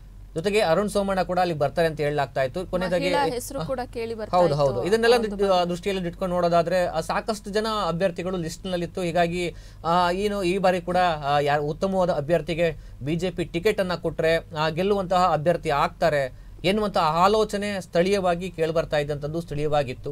ಆದರೆ ಆ ಟಿಕೆಟ್ ಅನ್ನ ಘೋಷಣೆ ಕೂಡ ಆಯಿತು. ದಿಲೀಪ್ ಕುಮಾರ್ ಕಳೆದ ಬಾರಿ ಸ್ಪರ್ಧೆ ಮಾಡಿ ಸೋದಂತವರು ಪಕ್ಷೇತರವಾಗಿ ಸ್ಪರ್ಧೆ ಮಾಡಿ ಸೋತಂತವರು ಅವರಿಗೆ ಟಿಕೆಟ್ ಅನ್ನ ಪಕ್ಷದ ಹೈಕಮಾಂಡ್ ನೀಡಿರುವಂತಹದ್ದು, ಜಾತಿ ಆಧಾರದ ಮೇಲೆ ಕೂಡ ನೀಡಿರುವಂತಹದ್ದು ಅಂತ ಹೇಳಲಾಗ್ತಾ ಇದೆ. ಆದ್ರೆ ಯಾವ ಮಾನದಂಡಗಳನ್ನ ಇಟ್ಕೊಂಡು ಅವರಿಗೆ ಟಿಕೆಟ್ ನೀಡಿದೆಯೋ ಗೊತ್ತಿಲ್ಲ. ಆದ್ರೆ ಅವರಿಗೆ ಟಿಕೆಟ್ ನೀಡಿರುವಂತಹದ್ದು ಬೆಟ್ಸ್ವಾಮಿ ಅವ್ರಿಗಾಗ್ಲಿ, ಚಂದ್ರಶೇಖರ್ ಬಾಬು ಅವ್ರಿಗಾಗ್ಲಿ, ಜೊತೆಲಿ ಅಲ್ಲಿ ಕೆಲಸ ಮಾಡ್ತಕ್ಕಂಥ ಕಾರ್ಯಕರ್ತರಿಗಾಗ್ಲಿ ಒಂದಿಷ್ಟು ಮೂಲ ಬಿಜೆಪಿಗರು ಯಾರಿದ್ದಾರೆ ಅವರಲ್ಲೂ ಕೂಡ ಸಣ್ಣ ಪುಟ್ಟ ಅಸಮಾಧಾನ ವ್ಯಕ್ತವಾಗ್ತಾ ಇದೆ. ಇದಕ್ಕೆ ಮುಖ್ಯವಾಗಿ ಕಾರಣವಾಗಿದ್ದು ಒಂದೇ ಒಂದು ಇನ್ಸಿಡೆಂಟ್ ಅಂತ ಹೇಳಿದ್ರೆ ಕಳೆದ ಬಾರಿ ಎರಡ್ ಸಾವಿರದ ಹದಿನೆಂಟರ ಚುನಾವಣೆ. ಎರಡ್ ಸಾವಿರದ ಹದಿನೆಂಟರ ಚುನಾವಣೆಯಲ್ಲಿ ಬೆಟ್ಟಸ್ವಾಮಿ ಅವರಿಗೆ ಬಿಜೆಪಿಯಿಂದ ಟಿಕೆಟ್ ಸಿಗುತ್ತೆ. ಇದರ ಬಿಜೆಪಿಯಲ್ಲಿದ್ದಂತಹ ದಿಲೀಪ್ ಕುಮಾರೇ ಬಂಡಾಯವಾಗಿ ಅವರು ಹೊರಗಡೆ ಬಂದು ಪಕ್ಷೇತರವಾಗಿ ಸ್ವತಂತ್ರ ಅಭ್ಯರ್ಥಿಯಾಗಿ ಸ್ಪರ್ಧೆ ಮಾಡ್ತಾರೆ. ಎಸ್ ಆರ್ ಶ್ರೀನಿವಾಸು ಸುಮಾರು ಐವತ್ತು ಸಾವಿರಕ್ಕಿಂತ ಹೆಚ್ಚು ಮತಗಳನ್ನ ಪಡೆದುಕೊಂಡ್ರೆ ನಲವತ್ತು ಸಾವಿರಕ್ಕಿಂತ ಹೆಚ್ಚು ಮತಗಳನ್ನ ಬೆಟ್ಟಸ್ವಾಮಿ ಪಡ್ಕೊಳ್ತಾರೆ ಮೂವತ್ತು ಸಾವಿರಕ್ಕಿಂತ ಹೆಚ್ಚು ಮತಗಳನ್ನ ದಿಲೀಪ್ ಕುಮಾರ್ ಪಡ್ಕೊಳ್ತಾರೆ. ಒಂದು ವೇಳೆ ದಿಲೀಪ್ ಕುಮಾರ್ ಅಂದು ಬೆಟ್ಸ್ವಾಮಿ ಅವರಿಗೆ ಸಹಾಯ ಮಾಡಿ ಅವ್ರ ಜೊತೆ ಇದ್ದು ಪ್ರಚಾರ ಮಾಡಿದ್ದೆ ಆಗಿದ್ದಿದ್ರೆ ಅವರು ಆ ಒಂದು ಚುನಾವಣೆಯಲ್ಲಿ ಗೆಲ್ತಾ ಇದ್ರು. ಇದರಲ್ಲಿ ಯಾವುದೇ ಅನುಮಾನ ಇರ್ತಿರ್ಲಿಲ್ಲ. ಈಗ ಎರಡ್ ಸಾವಿರದ ಇಪ್ಪತ್ತ್ ಮೂರು ಚುನಾವಣೆ ಬಂದಿದೆ. ಈ ಚುನಾವಣೆಯಲ್ಲಿ ಬೆಡ್ಸ್ವಾಮಿ ಅವರು ಟಿಕೆಟ್ ಕೈ ತಪ್ಪಿದೆ. ದಿಲೀಪ್ ಕುಮಾರ್ ಟಿಕೆಟ್ ಕೊಟ್ಟಿದ್ದಾರೆ. ಕಳೆದ ಬಾರಿ ಆದಂತಹದ್ದೇ ಈಗ ಅವರು ಮಾಡಿದ ಕೆಲಸ ಅವ್ರಿಗೆ ಉಲ್ಟಾ ಆಗೋದ್ರಲ್ಲಿ ಯಾವುದೇ ಅನುಮಾನ ಇಲ್ಲ ಎನ್ನುವಂತಹ ಮಾತುಗಳು ಪಕ್ಷದ ಒಳಗಡೆ ಕೇಳಿಬರ್ತಾ ಇರುವಂಥ ಕಾರ್ಯಕರ್ತರಲ್ಲಿ ಕೇಳಿಬರ್ತಾ ಇರುವಂತಹದ್ದು ಪ್ರಮುಖವಾಗಿ ಏನು ಗೊಲ್ಲ ಸಮುದಾಯ ಇದೆ ಯಾದವ ಸಮುದಾಯ ಇದೆ. ಅಲ್ಲಿರ್ತಕ್ಕಂಥ ಪ್ರಬಲವಾದ ಮುಖಂಡರು ಮತದಾರರ ಬಾಯಲ್ಲಿ ಬರ್ತಾ ಇರುವಂತಹ ವಿಷಯ ಇದು ಚಿತ್ರ. ಓಕೆ ಈಗ ಈಗ ತಾನೇ ಇನ್ನು ಕಾಂಗ್ರೆಸ್ನಿಂದ ಹೊನ್ಗಿರಿಗೌಡ ಹಾಗೆ ಬಿಜೆಪಿಯಿಂದ ಬೆಟ್ಟಸ್ವಾಮಿ ಪಕ್ಷದಿಂದ ಹೊರನಡೆದು ಜೆ ಡಿ ಎಸ್ ಪಕ್ಷವನ್ನ ಸೇರ್ಪಡೆಗೊಳ್ತಾ ಇದ್ದಾರೆ. ಸೊ ಈ ಕುರಿತಂತೆ ಅವರು ಮಾಜಿ ಮುಖ್ಯಮಂತ್ರಿ ಎಚ್ ಡಿ ಕುಮಾರಸ್ವಾಮಿ ಅವ್ರನ್ನ ಕೂಡ ಭೇಟಿ ಮಾಡಿ ಈ ಬಗ್ಗೆ ಮಾತನಾಡಿದ್ದಾರೆ. ಹಾಗಿದ್ರೆ ಇವರಿಬ್ಬರ ಪಕ್ಷಾಂತರ ಪಕ್ಷಕ್ಕೆ ಎಷ್ಟರ ಮಟ್ಟಿಗೆ ಹೊಡೆತ ಬೀಳುತ್ತೆ? ಇದ್ರ ಬಗ್ಗೆ ಕೂಲಂಕುಷವಾಗಿ ನೋಡಬೇಕಾಗತ್ತೆ. ಇನ್ನು ಕೂಡ ಚುನಾವಣೆಗೆ ಕೆಲವೇ ದಿನಗಳು ಮಾತ್ರ ಬಾಕಿ ಇರುವಂತದ್ದು ಚುನಾವಣೆ ಸಂದರ್ಭದಲ್ಲಿ ಟಿಕೆಟ್ ಯಾರಿಗೆಲ್ಲ ಮಿಸ್ ಆಗುತ್ತೆ ಅವರು ಮತ್ತೊಂದು ಪಕ್ಷದ ಕಡೆ ಮುಖ ಮಾಡುವಂಥದ್ದು ಸರ್ವೇ ಸಾಮಾನ್ಯ. ಯಾಕೆಂದ್ರೆ ಅವರ ಅಸ್ತಿತ್ವವನ್ನು ಉಳಿಸ್ಕೋಬೇಕಾಗತ್ತೆ ತಮ್ಮ ನಾಯಕತ್ವದ ಪ್ರಭಾವವನ್ನು ಬೆಳೆಸ್ಕೋಬೇಕಾಗತ್ತೆ. ಹೀಗಾಗಿ ಒಂದು ಆಲೋಚನೆ ಮಾಡಿದ್ದಾರೆ. ಪರವಾಗಿಲ್ಲ ಅವರು ಏನು ಯಾವಾಗ ಇಲ್ಲಿ ಬಿಜೆಪಿಯಿಂದ ಟಿಕೆಟ್ ಸಿಗಲಿಲ್ಲ ಆ ದೃಷ್ಟಿಯಿಂದ ಏನು ಬೆಟ್ಸ್ವಾಮಿ ಇದ್ದಾರೆ ಅವರು ಈಗ ಜೆ ಡಿ ಎಸ್ ಕಡೆ ಮುಖ ಮಾಡಿದ್ದಾರೆ. ಹೊನಗಿರಿ ಗೌಡರು ಮೂಲ ಕಾಂಗ್ರೆಸ್ಸಿಗರಾಗಿದ್ಕೊಂಡು ನಮ್ಮನ್ನ ಹೇಳದೆ ಕೇಳದೆ ಶ್ರೀನಿವಾಸ್ ಅವರಿಗೆ ಟಿಕೆಟ್ ಅನ್ನ ಕೊಟ್ರಿ ನೀವು ಅನ್ನುವಂತಹ ರೀತಿಯಲ್ಲಿ ಅವರು ಮನಸ್ತಾಪವನ್ನು ಬೆಳೆಸ್ಕೊಂಡು ಅವರು ಕೂಡ ಈಗ ಹೊರಗಡೆ ಕಾಲ್ನಿಟ್ಟಿದ್ದಾರೆ ಜೆ ಡಿ ಎಸ್ ಕಡೆ ಹೋಗುವಂತ ಮುಖ ಮಾಡಿದ್ದಾರೆ. ಇದರಿಂದಾಗಿ ಬೆಟ್ಟಸ್ವಾಮಿ ಅವರೇನಾದರೂ ಜೆ ಡಿ ಎಸ್ ಪಕ್ಷಕ್ಕೆ ಹೋದ್ರೆ ಜೆ ಡಿ ಎಸ್ ಪಕ್ಷಕ್ಕೆ ಲಾಭ ಆಗುತ್ತೋ ಇಲ್ಲೋ ಗೊತ್ತಿಲ್ಲ ಬಿಜೆಪಿ ಪಕ್ಷಕ್ಕಂತೂ ಭಾರಿ ನಷ್ಟ ಆಗುತ್ತೆ. ಯಾಕೆಂತ ಹೇಳಿದ್ರೆ ಸಾಕಷ್ಟು ಏನು ಕಾಡುಗೊಲ್ಲ ಸಮುದಾಯ ಇದೆ ಯಾದವ ಸಮುದಾಯ ಇದೆ ಅವರ ಬೆನ್ನಿಗೆ ನಿಂತಿರುವಂತಹದ್ದು. ನಮ್ಮ ಸಮುದಾಯದ ಒಬ್ಬ ನಾಯಕನಿಗೆ ಈ ರೀತಿಯಾದಂತಹ ಒಂದು ಅನ್ಯಾಯ ಆಯ್ತಲ್ಲ? ನಾವು ಬಿಜೆಪಿ ಪಕ್ಷವನ್ನ ಬೆಂಬಲಿಸಬೇಕಾ? ದಿಲೀಪ್ ಕುಮಾರ್ ಅವ್ರನ್ನ ಬೆಂಬಲಿಸ್ಬೇಕಾ? ನಮಗೆ ಒಂದು ಅಸ್ತಿತ್ವ ಇದ್ದಂಥವ್ರವರು ನಾಯಕತ್ವವನ್ನ ಹೊಂದಿದಂಥವರವರು ಅವರೇ ಇಲ್ಲ ಅಂದಮೇಲೆ ಅವ್ರಿಗೆ ಟಿಕೆಟ್ ಕೊಡಲಿಲ್ಲ ಅಂದಮೇಲೆ ನಾವ್ಯಾಕೆ ಸಪೋರ್ಟ್ ಮಾಡಬೇಕಾಗತ್ತೆ? ಪ್ರಮುಖವಾಗಿ ಕೇಳಿ ಬರ್ತಾ ಇರೋದು ಮಾತು ಅಂತ ಹೇಳಿದ್ರೆ ಅದನ್ನೇ. ಕಳೆದ ಬಾರಿ ಅವರು ಚುನಾವಣೆಯಲ್ಲಿ ನಮಗೆ ಸಹಾಯ ಮಾಡಲಿಲ್ಲ ನಮ್ಗೆ ಎಲ್ಪ್ ಮಾಡಲಿಲ್ಲ ಇಲ್ಲಾಂದ್ರೆ ನಮ್ಮಲ್ಲಿ ಒಬ್ರು ಶಾಸಕರಾಗಿರ್ತಿದ್ರು. ಹೀಗಾಗಿ ನಾವು ಯಾಕೆ ಅವ್ರಿಗೆ ಮೋಟ್ ಹಾಕ್ಬೇಕು ನಾವ್ಯಾಕೆ ಬೆಂಬಲಿಸ್ಬೇಕು? ಪಕ್ಷವನ್ನ ಕಟ್ಟಿ ಬೆಳೆಸಿದಂತಹ ನಾಯಕರುಗಳಿಗೆ ಪಕ್ಷ ಪಕ್ಷ ಹೈಕಮಾಂಡ್ ಅವರು ಯಾವ ಅವರು ಯಡಿಯೂರಪ್ಪನ ಫಾಲೋವರ್ ಆಗಿದ್ರು ಕೆಜೆಪಿ ಇದ್ರು ಕೆಜೆಪಿಯಿಂದ ಬಿಜೆಪಿ ಬಂದು ಟಿಕೆಟ್ ತಗೊಂಡ್ರು. ಸೋಲೋದು ಗೆಲ್ಲೋದು ಸೆಕೆಂಡರಿ ಆಗಿತ್ತು ಪಕ್ಷ. ಇವಾಗ ಕಳೆದ ಬಾರಿ ಸೋತಿದ್ರಲ್ಲ ಈ ಕೊನೆ ಒಂದು ಅವಕಾಶವನ್ನ ಈ ಬಾರಿ ಕೊಡಬಹುದಾಗಿತ್ತು ಬೆಟ್ಸ್ವಾಮಿ ಅವ್ರಿಗೆ. ಕೊಟ್ಟು ನೋಡಬಹುದಾಗಿತ್ತು ಲಿಂಗಾಯತ ಸಮುದಾಯದ ಪ್ರಬಲ ಮುಖಂಡರು ಪ್ರಬಲ ಆಕಾಂಕ್ಷಿಗಳಾಗಿದ್ದರು ಏನು ದಿಲೀಪ್ ಕುಮಾರ್ ಅವರಿಗೆ ಕೊಟ್ಟಿದೆ. ಅಲ್ಲಿ ಒಂದು ಜಾತಿ ರಾಜಕಾರಣ ಕೂಡ ವರ್ಕೌಟ್ ಆಗಿದೆ. ಜೊತೆಗೆ ಪಕ್ಷದ ಆಂತರಿಕವಾಗಿ ಇರತಕ್ಕಂಥವರೆಲ್ಲ ಕೂಡ ಪ್ರಭಾವವನ್ನ ಬಳಸಿರ್ಬೋದು. ಒಂದು ಜ- ಬಸವರಾಜು ಕೂಡ ಒತ್ತಾಯ ಹಾಕಿದ್ರು ಎನ್ನುವಂತಹ ಮಾತುಗಳು ಕೂಡ ಕೇಳಿ ಬರ್ತಾ ಇದೆ ಇಷ್ಟರ ಮಟ್ಟಿಗೆ ನಿಜ ಸುಳ್ಳೋ ಗೊತ್ತಿಲ್ಲ. ಆದ್ರೆ ಆ ಒಂದು ಪ್ರಭಾವದಿಂದಾಗಿ ಇದೀಗ ಬೆಟ್ಸ್ವಾಮಿ ಅವರಿಗೆ ಟಿಕೆಟ್ ತಪ್ಪಿದೆ. ಹೀಗಾಗಿ ಅನಿವಾರ್ಯ ಕೂಡ ಹೌದು. ಇವರು ಏನು ಯಾವಾಗ ಟಿಕೆಟ್ ಅನೌನ್ಸ್ ಮಾಡಬೇಕಾಗತ್ತೆ ಆ ಒಂದು ದಿನದ ಮಧ್ಯಾಹ್ನ ಒಂದು ಏನು ಪ್ರೆಸ್ ಮೀಟ್ ಅನ್ನ ಮಾಡ್ತಾರೆ. ಪ್ರೆಸ್ ಮೀಟ್ ಅನ್ನ ಮಾಡಿ ಯಾರಿಗೆ ಟಿಕೆಟ್ ಕೊಟ್ಟರು ಕೂಡ ನಾವು ಒಗ್ಗಟ್ಟಿನಿಂದ ಹೋಗ್ತೀವಿ ಅಂತ ಹೇಳ್ಬಿಟ್ಟು ಮಾಧ್ಯಮಗಳಿಗೆ ಪ್ರತಿಕ್ರಿಯೆಯನ್ನ ನೀಡ್ತಾರೆ. ಆದ್ರೆ ಇವರಿಗೆ ಈ ರೀತಿ ಮಾತನಾಡಿ ಅಂತ ಹೇಳಿ ಪಕ್ಷದ ಹೈಕಮಾಂಡ್ನ ಕೆಲವು ನಾಯಕರು ಹೇಳ್ಕೊಟ್ಟಿದ್ರು ಅನ್ನೋದು ಮಾತು ಕೂಡ ಇದೀಗ ವೈರಲ್ ಆಗ್ತಿರುವಂತದ್ದು ಅಂದ್ರೆ ನೀವು ರೀತಿಯಾದಂತಹ ಒಂದು ಹೇಳಿಕೆಯನ್ನ ಕೊಡಿ. ಎಲ್ಲರೂ ಒಟ್ಟಾಗಿ ಹೋಗೋ ರೀತಿಯಲ್ಲಿ ನಿಮಗೆ ಟಿಕೆಟ್ ಅನೌನ್ಸ್ ಆಗುತ್ತೆ. ಅವಾಗ ಎಲ್ಲರನ್ನೂ ಕೂಡ ವಿಶ್ವಾಸ ತಗೊಂಡ್ಕೊಂಡು ನೀವು ಚುನಾವಣೆಯನ್ನ ಎದುರಿಸಬಹುದು ಪ್ರಚಾರವನ್ನ ಮಾಡಬಹುದು ಅನ್ನೋ ರೀತಿನಲ್ಲಿ ಕೂಡ ಮಾತನಾಡಿದಂತಹದ್ದು. ಒಂದ್ ವೇಳೆ ಬೆಟ್ಸ್ವಾಮಿ ಅವರು ಕೊಟ್ಟಿದ್ರೆ ಒಂದು ಫೈಟ್ ಅದು ಬೇರೆ ತರನೇ ಇರ್ತಿತ್ತು. ಆ, ಅಂದ್ರೆ ಸ್ವಲ್ಪ ಇವ್ರು ಕಳೆದ ಬಾರಿನೇ ಸುಮಾರು ನಲವತ್ತೈದು ಐವತ್ತು ಸಾವಿರ ಮತಗಳನ್ನು ತೆಗೆದುಕೊಂಡಿದ್ದಾರೆ ಅಂತ ಹೇಳಿದ್ರೆ ಈ ಬಾರಿ ಸ್ವಲ್ಪ ಇನ್ನು ಪ್ರೆಸರ್ ಹಾಕಿ ಎಲ್ಲ ಒಟ್ಟಾಗಿ ಸೇರ್ಕೊಂಡು ಮಾಡಿದ್ರೆ ಇನ್ನು ಜಾಸ್ತಿ ಮತಗಳ ಸಂಖ್ಯೆ ಬರ್ತಾ ಇತ್ತು. ಆದ್ರೆ ಈ ಬಾರಿ ದಿಲೀಪ್ ಅವ್ರಿಗೆ ಕೊಟ್ಟಿರೋದ್ರಿಂದ ಇವ್ರು ಎಷ್ಟರ ಮಟ್ಟಿಗೆ ಅವ್ರಿಗೆ ಸಪೋರ್ಟ್ ಮಾಡ್ತಾರೆ. ಅದನ್ನ ಯೋಚನೆ ಮಾಡ್ಬೇಕಾಗುತ್ತೆ. ಇದೀಗ ಬೆಟ್ಸ್ವಾಮಿ ಅವರ ಜೊತೆಗೆ ಚಂದ್ರಶೇಖರ್ ಬಾಬು ಅವರು ಕೂಡ ನಿಂತಿರುವಂತಹದ್ದು. ಅವರು ಕೂಡ ತುಂಬಾ ಸಪೋರ್ಟ್ ಮಾಡ್ತಾ ಇದ್ದಾರೆ. ಈಗ ಒಣಗಿರಿಗೆ ಅವರು ಬಂದಿದ್ದಾರೆ. ಜೆ ಡಿ ಎಸ್ ಹೋಗ್ತೀವಿ ಅಂತ ನಿಂತಿದ್ದಾರೆ. ಜೆ ಡಿ ಎಸ್ಗೆ ಒಂದಿಷ್ಟು ಬಲ ಬಂದ್ರೂ ಬರಬಹುದು ಆದ್ರೆ ಪೂರ್ಣ ಪ್ರಮಾಣದಲ್ಲಿ ಅಂತ ಹೇಳೋದಕ್ಕೆ ಬರೋದಿಲ್ಲ. ಯಾಕಂದ್ರೆ ಶ್ರೀನಿವಾಸ್ ಇದ್ದಂತಹ ಜೆ ಡಿ ಎಸ್ ಬೇರೆ ಈಗ ಇದ್ದಂತಹ ಕಾಲಘಟ್ಟದ ಜೆ ಡಿ ಎಸ್ ಬೇರೆ. ಇನ್ನು ಹೊನಗಿರಿಗೌಡ್ರು ಹೇಳಿದ್ರಿ. ಹೊನಗಿರಿಗೌಡ್ರು ಮೂಲತಃವಾಗಿ ಕಾಂಗ್ರೆಸ್ ಅಲ್ಲಿ ಇದ್ರೂ ಕೂಡ ಕಾಂಗ್ರೆಸ್ನಲ್ಲಿ ಅಷ್ಟರ ಮಟ್ಟಿಗೆ ಅವರ ಪ್ರಭಾವ ಬರಬರ್ತಾ ಕಡಿಮೆ ಆಗಿದೆ ಅನ್ನೋದು ಅವರಿಗೆ ಮೂರು ಬಾರಿ ಟಿಕೆಟ್ ಸಿಕ್ಕಿತ್ತು. ಆದ್ರೂ ಕೂಡ ಅವ್ರು ಸೋಲನ್ನ ಅನುಭವಿಸಿದ್ರು ಕ್ಷೇತ್ರದಲ್ಲಿ. ಹೇಳ್ತಾ ಹೇಳ್ತಾ ಇದ್ದೀನಲ್ಲ ಅವ್ರ ಪಕ್ಷದಲ್ಲಿ ಕಾಂಗ್ರೆಸ್ ಪಕ್ಷವನ್ನ ಉಳಿಸ್ಕೊಂಡ್ ಬಂದಿದ್ದಾರೆ ಹೊರತು ತುಂಬಾ ಬ್ರಾಡಾಗಿ ಬೆಳೆಸೋದಿಕ್ ಆಗಿಲ್ಲ ಅವ್ರಿಗೆ. ಅವರು ತೆಗೆದುಕೊಂಡಿರುವಂತಹ ಮತಗಳು ಕಡಿಮೆ ತುಂಬಾ ಕಡಿಮೆ ಇದೆ. ನಾಲ್ಕನೇ ಸ್ಥಾನ ಮೂರನೇ ಸ್ಥಾನಕ್ಕೆ ತಳಲ್ಪಟ್ಟಂತಹ ವ್ಯಕ್ತಿ ಅವರು. ಹೀಗಾಗಿ ಅವ್ರಿಗೆ ಪಕ್ಷದಿಂದ ಸಾಕಷ್ಟು ಓಟ್ಗಳು ಬಿದ್ದಿದೆ. ವ್ಯಕ್ತಿಗತವಾಗಿ ಬಿತ್ತಿರುವಂತಹ ಓಟ್ಗಳು ಕಡಿಮೆ. ಹೀಗಾಗಿ ಅವರ ಒಂದು ಜೆ ಡಿ ಎಸ್ ಪಕ್ಷಕ್ಕೆ ಹೋಗೋದ್ರಿಂದ ಕಾಂಗ್ರೆಸ್ ಪಕ್ಷಕ್ಕೆ ಅಂಥದ್ದೇನು ನಷ್ಟ ಆಗೋದಿಲ್ಲ. ಅಂತದ್ದೇನು ಏನು ಮತಗಳ ಸಂಖ್ಯೆ ಕಡಿಮೆ ಆಗೋದಿಲ್ಲ. ಯಾಕೆಂತ ಹೇಳಿದ್ರೆ ಶ್ರೀನಿವಾಸ್ ಅವರ ಪರವಾಗಿರುವಂತರ ಸಂಖ್ಯೆ ಸಾಕಷ್ಟು ದೊಡ್ಡದಿದೆ. ಈ ರೀತಿಯಾಗಿ ಹೊನಗಿರಿ ಗೌಡರು ಹೋಗೋದ್ರಿಂದ ಯಾವುದೇ ಸಮಸ್ಯೆಗಳು ಕಾಂಗ್ರೆಸ್ ಪಕ್ಷಕ್ಕೆ ಆಗೋದಿಲ್ಲ. ಆದ್ರೆ ಬೆಟ್ಸ್ವಾಮಿ ಅವರು ಬಿಜೆಪಿಯಿಂದ ಜೆಡಿಎಸ್ಗೆ ಹೋಗೋದ್ರಿಂದ ಬಿಜೆಪಿಗೆ ಸಾಕಷ್ಟು ಹೊಡ್ತಾ ಬೀಳುತ್ತೆ. ಮುಂದೆ ದಿಲೀಪ್ ಕುಮಾರ್ ಅವರು ಸಾಕಷ್ಟು ಸಫರ್ ಪಡಬೇಕಾಗುತ್ತೆ ಅಂತ ಹೇಳ, ಹೇಳ್ಬೋದು. ಓಕೆ, ಎಲ್ಲೋ ಒಂದು ಕಡೆ ಬಿಜೆಪಿ ಪಕ್ಷ ಆಗಿರಬಹುದು, ಕಾಂಗ್ರೆಸ್ ಪಕ್ಷ ಆಗಿರಬಹುದು, ತನಗೆ ಸಿಕ್ಕಂತಹ ಕಡಿಮೆ ಟೈಮಲ್ಲಿ ಯಾಕೆ ಇವರ ಮನವೊಲಿಸ್ತಕ್ಕಂಥ ಕೆಲಸ ಮಾಡಿದ್ಯಾ ಅಥವಾ ಇಲ್ವಾ ಅಂತ ನೋಡೋದಾದ್ರೆ, ಖಂಡಿತವಾಗ್ಲೂ ಯಾಕಂದ್ರೆ ಈಗ ಪಕ್ಷದಲ್ಲಿ ಮುಖಂಡರನ್ನ ನಾವು ಉಳಿಸ್ಕೋಬೇಕು, ಯಾಕಂದ್ರೆ ಇವರು ಪಕ್ಷವನ್ನ ಕಟ್ಟಿ ಬೆಳೆಸಿದ್ದಾರೆ. ಸೊ, ಅವರನ್ನ ನಾವು ಪಕ್ಷದಲ್ಲಿ ಉಳಿಸ್ಕೋಬೇಕು ಅನ್ನೋ ಉದ್ದೇಶ ಇದ್ದಿದ್ರೆ ಸಿಕ್ತಕ್ಕಂಥ ಕಡಿಮೆ ಅವಧಿಯಲ್ಲಾದ್ರೂ ಕೂಡ ಒಂದು ಬಾರಿ ಅವರ ಮನವನ್ನ ಒಲಿಸ್ತಕ್ಕಂಥ ಪ್ರಯತ್ನ ಮಾಡಬಹುದಾಗಿತ್ತಲ್ವಾ ಅಂದ್ರೆ ಒಂದು ಕಡೆ ಇವ್ರನ್ನ ಯಾವಾಗ ಪಕ್ಷವನ್ನ ಬಿಡ್ತಾರೆ ಪಕ್ಷದಿಂದ ಹೊರಗಡೆ ಹೋಗ್ತಾರೆ ಎನ್ನುವಂತಹ ಮಾತುಗಳು ಕೇಳಬಂತು. ಆಗ್ಲೇನೆ ಬೆಟ್ಸ್ವಾಮಿ ಅವ್ರನ್ನ ಮಾತನಾಡಿಸುವಂತಹ ಕೆಲಸ ಅವ್ರನ್ನ ಸಮಾಧಾನ ಪಡಿಸುವಂತಹ ಕೆಲಸವನ್ನ ಪಕ್ಷದ ಹೈಕಮಾಂಡ್ ಮಾಡಿದೆ. ಅದ್ಯಾವುದಕ್ಕೂ ಕೂಡ ಇವರು ಬಗ್ಗಿಲ್ಲ. ಯಾಕೆಂತ ಹೇಳಿದ್ರೆ ಇವರ ಹಿಂಬಾಲಕರೇ ಹೇಳಿರುವಂತಹದ್ದು ಇವರ ಏನು ಅಭಿಮಾನಿಗಳೇ ಮಾತನಾಡ್ಕೊಳ್ಳುವಂಥದ್ದು ಕಾರ್ಯಕರ್ತರೇ ನಿಷ್ಠಾವಂತ ಕಾರ್ಯಕರ್ತರೇ ಮಾತನಾಡ್ಕೊಳ್ಳುವಂಥದ್ದು ಒಬ್ಬ ಹಿಂದುಳಿದ ಸಮುದಾಯನಿಗೆ ಬೆಂಬಲ ಕೊಡದ ಇಂತಹ ವ್ಯಕ್ತಿಗಳಿಗೆ ನಾವು ಹೇಗೆ ಹೋಗಿ ಪ್ರಚಾರ ಮಾಡ್ಲಿ? ಕಳೆದ ಬಾರಿ ಚುನಾವಣೆಯಲ್ಲಿ ನಮ್ಮ ಎದುರಿಗಿಂತ ಎದುರು ಇದ್ದಂಥವ್ರು ಇವಾಗ ನಮ್ಮ ಪಕ್ಕದಲ್ಲಿ ನಾವು ಅವರಿಗೆ ಓಟ್ ಹಾಕಿ ಅಂತೇಳಿ ನಮ್ಮ ಜನಕ್ಕೆ ಹೇಗೆ ಹೇಳಿ ನಾವು? ಇದು ಪ್ರಮುಖವಾಗಿ ಬೆಟ್ಸ್ವಾಮಿ ಅವರ ವಿಚಾರದಲ್ಲಿ ಅವರ ಹಿಂಬಾಲಕರ ವಿಚಾರದಲ್ಲಿ ಕೇಳುವಂತಹದ್ದು. ಪಕ್ಷದ ಏನು ಅವರ ಹಿಂಬಾಲಕರಿದ್ದಾರೆ ಸ್ನೇಹಿತರಿದ್ದಾರೆ ಆತ್ಮೀಯರಿದ್ದಾರೆ ಇವ್ರ ಜೊತೆ ಒಂದು ಸಭೆ ಮಾಡ್ತೀನಿ ಅನ್ನುವಂತಹ ವಿಚಾರವನ್ನ ಹೇಳುವ ಸಂದರ್ಭದಲ್ಲಿ ಕೂಡ ಅವರು ಭಾವುಕರಾಗಿ ಮಾತನಾಡ್ತಾರೆ. ಆ ಒಂದು ಸಂದರ್ಭದಲ್ಲಿ ಕೂಡ ಪಕ್ಷದ ಸಾಕಷ್ಟು ಕಾರ್ಯಕರ್ತರು ಅವರ ಹಿಂಬಾಲಕರು ಅವರನ್ನ ಸಮಾಧಾನ ಮಾಡ್ತಾರೆ. ನಿಮ್ ಜೊತೆ ನಾವಿದ್ದೀವಿ ನೀವು ಯಾವ ನಿರ್ಧಾರ ತೆಗೆದುಕೊಂಡ್ರು ಕೂಡ ನಿಮ್ಮನ್ನು ನಾವು ಬೆಂಬಲಿಸ್ತೀವಿ. ನಿಮ್ಮ ಹಿಂದೆ ನಾವು ಬರ್ತೀವಿ. ಹೀಗಂತ ಕೂಡ ಅವರು ಬೆಂಬಲವನ್ನ ಕೊಟ್ಟಿರುವಂತಹದ್ದು. ಇನ್ನು ಹೊನಗಿರಿಗೌಡರು ಪ್ರಸನ್ನ ಅವರು ಬಗ್ಗೆ ಮಾತನಾಡೋದಾದ್ರೆ ಕಾಂಗ್ರೆಸ್ ಹೈಕಮಾಂಡ್ ನಿರ್ಧಾರಕ್ಕೆ ವಿರುದ್ಧವಾಗಿ ಮಾಧ್ಯಮ ಹೇಳಿಕೆಯನ್ನ ಕೊಟ್ಟರು ಅನ್ನೋ ವಿಚಾರವಾಗಿ ಅವ್ರನ್ನ ಪಕ್ಷದಿಂದ ತೆಗೆದು ಹಾಕುವಂತಹ ಉಚ್ಚಾಟನೆ ಮಾಡುವಂತಹ ಕೆಲಸವನ್ನ ಪಕ್ಷದ ಹೈಕಮಾಂಡ್ ಮಾಡಿತ್ತು. ಇತ್ತೀಚೆಗಷ್ಟೇ ಆ ಒಂದು ಆದೇಶವನ್ನ ರದ್ದು ಮಾಡಿ ಕೂಡ ಆದೇಶವನ್ನ ಹೊರಡಿಸಿತ್ತು. ಅವರಿಗೆ ಶ್ರೀನಿವಾಸ್ ಅವರು ಹೋದಾಗ್ಲಿಂದ ಕೂಡ ಪಕ್ಷದಲ್ಲಿ ಯಾಕೋ ಇರುಸು ಮುರುಸು ಆಗ್ತಾ ಇದೆ. ಅವ್ರನ್ನ ಬೆಂಬಲಿಸೋದಿಕ್ಕೆ ರೆಡಿ ಇಲ್ಲ ಅನ್ನಂಗೆ ಕಾಣಿಸುತ್ತೆ. ಹೀಗಾಗಿ ಪಕ್ಷದಿಂದ ಹೊರಗಡೆ ಬಂದ್ಬಿಡ್ಬೇಕು ಅನ್ನುವಂತಹ ಮನಸ್ಥಿತಿ ಅವರಲ್ಲಿತ್ತು ಅಂತ ಅನ್ಸುತ್ತೆ. ಹೀಗಾಗಿ ಯಾವಾಗ ಉಚ್ಚಾಟನೆ ಮಾಡಿದಾಗಲೂ ಕೂಡ ನಮ್ಗೆ ಯಾವುದು ಗೊತ್ತಿಲ್ಲ ಅಂತ ಹೇಳ್ತಿದ್ರು. ಆದೇಶ ರದ್ದು ಮಾಡಿದಾಗಲೂ ಕೂಡ ನಮ್ಗೆ ಯಾವುದು ಗೊತ್ತಿಲ್ಲ ಅಂತ ಹೇಳ್ತಾ ಇದ್ರು. ಇದೀಗ ಅಧಿಕೃತವಾಗಿ ಅವರು ಜೆ ಡಿ ಎಸ್ ಸೇರ್ಪಡೆ ಆಗೋದಕ್ಕೆ ಮುಂದಾಗಿದ್ದಾರೆ. ಹೀಗಾಗಿ ಅವರ ಒಂದು ಸೇರ್ಪಡೆಯಿಂದಾಗಿ ಅವರ ಒಂದು ನಿರ್ಗಮನದಿಂದಾಗಿ ಯಾವುದೇ ರೀತಿಯ ಬದಲಾವಣೆ ಆಗಲ್ಲ. ಯಾಕೆಂತ ಹೇಳಿದ್ರೆ ಸಾಕಷ್ಟು ಜನ ಕಾರ್ಯಕರ್ತರು ಮೂಲ ಕಾಂಗ್ರೆಸ್ಸಿಗರು ಕಾಂಗ್ರೆಸ್ ಅಲ್ಲೇ ಉಳ್ಕೊಂಡಿದ್ದಾರೆ ಇನ್ನ ಶ್ರೀನಿವಾಸ್ ಅವರ ಬೆಂಬಲಿಗರಾದಂತಹ ಜೆ ಡಿ ಎಸ್ನವರು ಅವರು ಕೂಡ ವಾಪಸ್ ಬಂದಿರುವಂತಹದ್ದು. ಸಾಕಷ್ಟು ಜನ ಈ ರೀತಿಯಾದಂತಹ ಬೆಟ್ಸ್ವಾಮಿ ಅವ್ರಿಗಾದಂತಹ ಅನ್ಯಾಯವನ್ನ ನೋಡೋಕ್ಕಾಗದೆ ಅವರು ಪಕ್ಷದಿಂದ ಕಾಂಗ್ರೆಸ್ ಅನ್ನ ಬೆಂಬಲಿಸುವವರ ಸಂಖ್ಯೆ ಸಾಕಷ್ಟು ಆಗ್ಬೋದು. ಈ ರೀತಿಯಾಗಿ ನೋಡೋದಾದ್ರೆ ಎಲ್ಲಾ ಕಡೆಯಿಂದಲೂ ಕೂಡ ಶ್ರೀನಿವಾಸ್ ಅವರಿಗೆ ಅನುಕೂಲನೇ ಆಗ್ತಾ ಇದೆ ಅಂತ ಹೇಳ್ಬೋದು. ಈಗ ನಾವು ನೋಡ್ತಾ ಇದ್ವಿ ಅಂಡ್ ಏನಪ್ಪಾ ಅಂದ್ರೆ ಈಗ ಕಾಂಗ್ರೆಸ್ನಲ್ಲಿರ್ತಕ್ಕಂಥ ಒನ್ಗಿರಿ ಗೌಡರಾಗಿರಬಹುದು, ಈಗ ಬಿ ಜೆ ಪಿಯಲ್ಲಿರ್ತಕ್ಕಂಥ ಬೆಟ್ಸ್ವಾಮಿ ಆಗಿರ್ಬೋದು ಇವರ ಈ ಒಂದು ಪಕ್ಷಾಂತರ ಪರ್ವದಿಂದ ಜೆ ಡಿ ಎಸ್ಗೆ ಎಷ್ಟರ ಮಟ್ಟಿಗೆ ಬಲ ಬಂದಂಗೆ ಆಗುತ್ತೆ ಸೊ ಈಗ ಬಿ ಜೆ ಪಿಯಿಂದ ಹೊಡೆತ ಬಿ ಜೆ ಪಿಗೂ ಬಿ ಜೆ ಪಿ ಪಕ್ಷಕ್ಕಂತೂ ಖಂಡಿತ ಹೊಡೆತ ಬಿದ್ದೇ ಬೀಳುತ್ತೆ. ಈಗ ಜೆ ಡಿ ಎಸ್ಗೆ ಎಷ್ಟರ ಮಟ್ಟಿಗೆ ಆನೆ ಬಲ ಬಂದಂತ ಆಗಬಹುದಾ ಅಂತ? ಒಂದು ನೂರಲ್ಲಿ ಶೇಕಡ ಒಂದು ಇಪ್ಪತ್ತರಷ್ಟು ಮೂಲ ಜೆ ಡಿ ಎಸ್ನವ್ರು ಯಾರಿದ್ರು ಅವರು ಮಾತ್ರ ಜೆ ಡಿ ಎಸ್ನಲ್ಲಿ ಉಳ್ಕೊಂಡಿದ್ದಾರೆ. ಬಹುತೇಕ ಒಂದು ಪ್ರಮುಖವಾಗಿರುವಂತಹ ಕೆಲವು ಮುಖಂಡರು ಮಾತ್ರ ಅವ್ರ ಜೊತೆ ಉಳ್ಕೊಂಡಿದ್ದಾರೆ. ಬಹುತೇಕವಾಗಿರುವಂತಹ ಕಾರ್ಯಕರ್ತರೆಲ್ಲರೂ ಕೂಡ ಶ್ರೀನಿವಾಸ್ ಅವ್ರನ್ನ ಹಿಂಬಾಲಿಸಿ ಹೊರಟಿದಂತಹದ್ದು. ಏಕೆಂದ್ರೆ ನಾವು ಮೊದಲಿಂದಲೂ ಕೂಡ ನಾವು ಹೇಳ್ಕೊಂಡೇ ಬರ್ತಾ ಇದೀವಿ ಶ್ರೀನಿವಾಸ್ ಅವರು ಒಂದು ಪಕ್ಷದಿಂದ ಒಂದು ಟಿಕೆಟ್ ಅನ್ನು ತೆಗೆದುಕೊಂಡು ಚುನಾವಣೆ ಎದುರಿಸಿದವ್ರು ಖಂಡಿತವಾಗ್ಲೂ ಅಲ್ಲ. ಪಕ್ಷೇತರವಾಗಿ ಪ್ರಥಮವಾಗಿ ಅವರು ಆಯ್ಕೆಯಾಗಿದ್ದಂತಹದ್ದು ಹೀಗಾಗಿ ಅವರಿಗೆ ಗೆಲುವು ಅನ್ನೋದು ಸಾರ ಸಗಟಾಗಿ ಅವ್ರಿಗೆ ನೀರು ಕೊಡೋದಷ್ಟು ಸುಲಭ ಆಗ್ಬಿಟ್ಟಿದೆ ಚುನಾವಣೆಗಳಲ್ಲಿ. ಅಷ್ಟರ ಮಟ್ಟಿಗೆ ಅವರು ಪ್ಲಾನ್ ಅನ್ನ ಮಾಡ್ಕೊಳ್ತಾರೆ ಜನರ ಬಳಿ ಹೋಗ್ತಾರೆ ಕೆಲಸವನ್ನ ಮಾಡಿದರೆ ಅದ್ರ ಬಗ್ಗೆ ಮನವರಿಕೆ ಮಾಡ್ಕೊಡ್ತಾರೆ.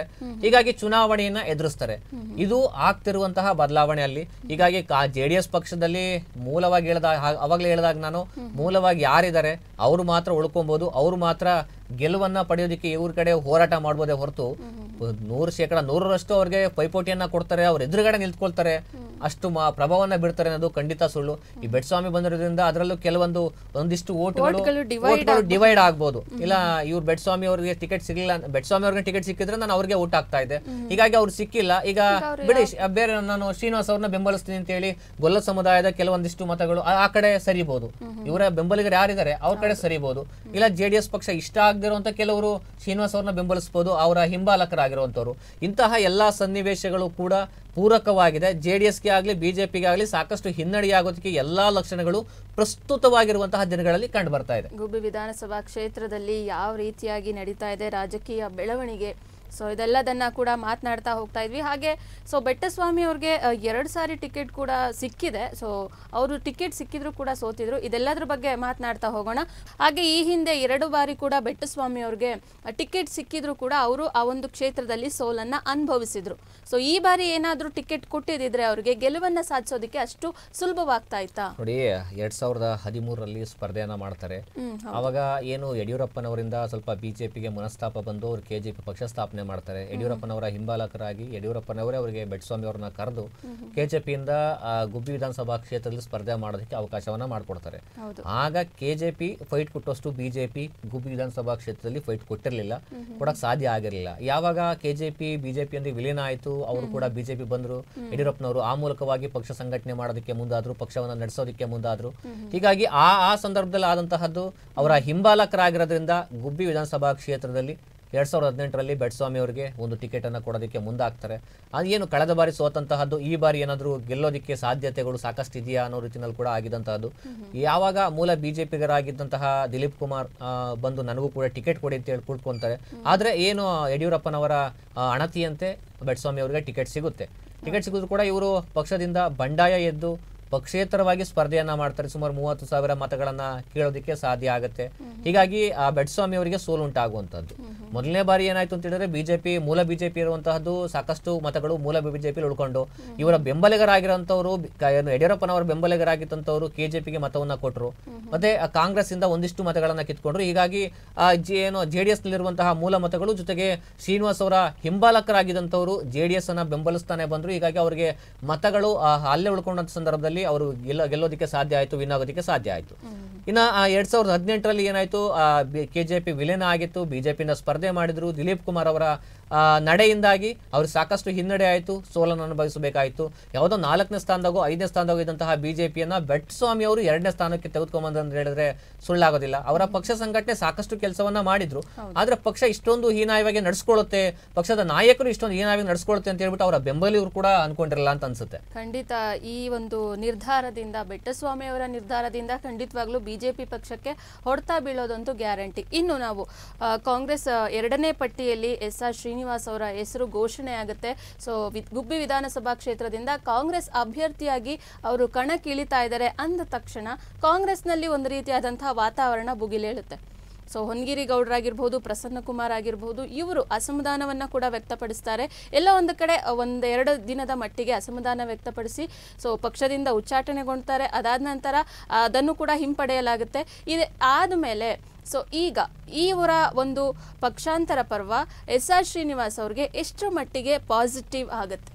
ಎಸ್ ಇದ್ರ ಬಗ್ಗೆ ಮಾತಾಡಲೇಬೇಕಾಗುತ್ತೆ. ಯಾಕೆ ಅಂತ ಹೇಳಿದ್ರೆ ಆ, ಏನು ಹೊನ್ನಗಿರಿ ಗೌಡ್ರಾಗಿರ್ಬೋದು ಪ್ರಸನ್ನ ಕುಮಾರ್ ಆಗಿರ್ಬೋದು ಪ್ರಸನ್ನ ಅವರ ಇವೊಂದಿಬ್ರು ಮುಖಂಡರು ಸಾಕಷ್ಟು ಮೂಲವಾಗಿ ಕಾಂಗ್ರೆಸ್ ಪಕ್ಷವನ್ನ ಗುಬ್ಬಿಯಲ್ಲಿ ಕಟ್ಟಿದಂಥವ್ರು ಬೆಳೆಸಿದಂಥವ್ರು. ಎಲ್ಲ ಒಂದ್ ಕಡೆ ಪಕ್ಷದ ಹೈಕಮಾಂಡ್ ನನ್ನನ್ನ ಸೈಡಿಗೆ ಸರಿಸ್ತಾ ಇದೆಯಾ? ನಾವು ಕಳೆದ ಒಂದು ಮೂರ್ನಾಲ್ಕು ಚುನಾವಣೆಯಿಂದಲೂ ಕೂಡ ಶ್ರೀನಿವಾಸ್ ಅವರ ವಿರುದ್ಧವಾಗಿ ಸ್ಪರ್ಧೆ ಮಾಡ್ಕೊಂಡು ಬಂದಿದ್ದೀವಿ. ಹೀಗಾಗಿ ಇವತ್ತು ಬಂದು ನಾವು ಅವ್ರ ಪರವಾಗಿ ನಾವು ಪ್ರಚಾರವನ್ನ ಮಾಡಬೇಕು ಅಂತ ಹೇಳಿದ್ರೆ ಇಷ್ಟರ ಮಟ್ಟಿಗೆ ಸಾಧ್ಯ ಆಗುತ್ತೆ.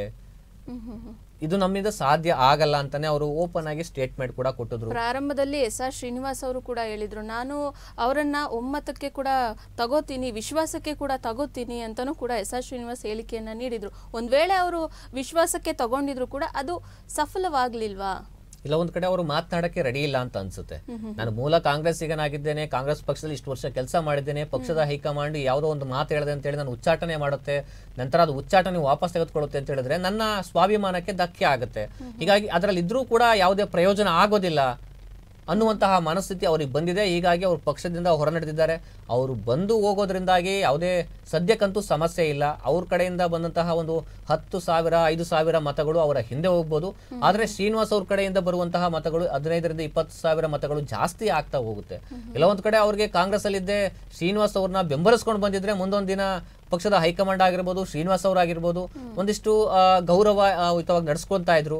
ಮತ್ತೆ ಅವ್ರಿಗೆ ಯಾವ್ದಾದ್ರು ಪಕ್ಷದಲ್ಲಿ ಉನ್ನತ ಸ್ಥಾನವನ್ನ ಕೊಟ್ಟು ನಡೆಸ್ಕೊಂಡು ಹೋಗ್ತಾ ಇದ್ರು ಅನ್ನೋದ್ರಲ್ಲಿ ಯಾವುದೇ ಅನುಮಾನ ಇಲ್ಲ. ಯಾಕಂದ್ರೆ ನಾವು ನೋಡೋದಾದ್ರೆ ಶ್ರೀನಿವಾಸ್ ಅವರು ಏನ್ ಕೂಡ ಕಾಂಗ್ರೆಸ್ ಪಕ್ಷಕ್ಕೆ ಹೊಸಬ್ರಲ್ಲ ಸೊ ಅವ್ರ ತಂದೆಯವ್ರ ಕಾಲದಿಂದಲೂ ಕೂಡ ಅವ್ರ ಮೂಲತಃ ಕಾಂಗ್ರೆಸ್ನಲ್ಲಿ ಇದ್ದಂತವ್ರು ಸೊ ಕಾಂಗ್ರೆಸ್ ಪಕ್ಷದಲ್ಲಿ ಅವ್ರಿಗೆ ಟಿಕೆಟ್ ಸಿಗ್ಲಿಲ್ಲ ಅನ್ನೋ ಕಾರಣಕ್ಕೆ ಅವರು ಪಕ್ಷೇತರವಾಗಿ ಸ್ಪರ್ಧೆ ಮಾಡ್ತಾರೆ.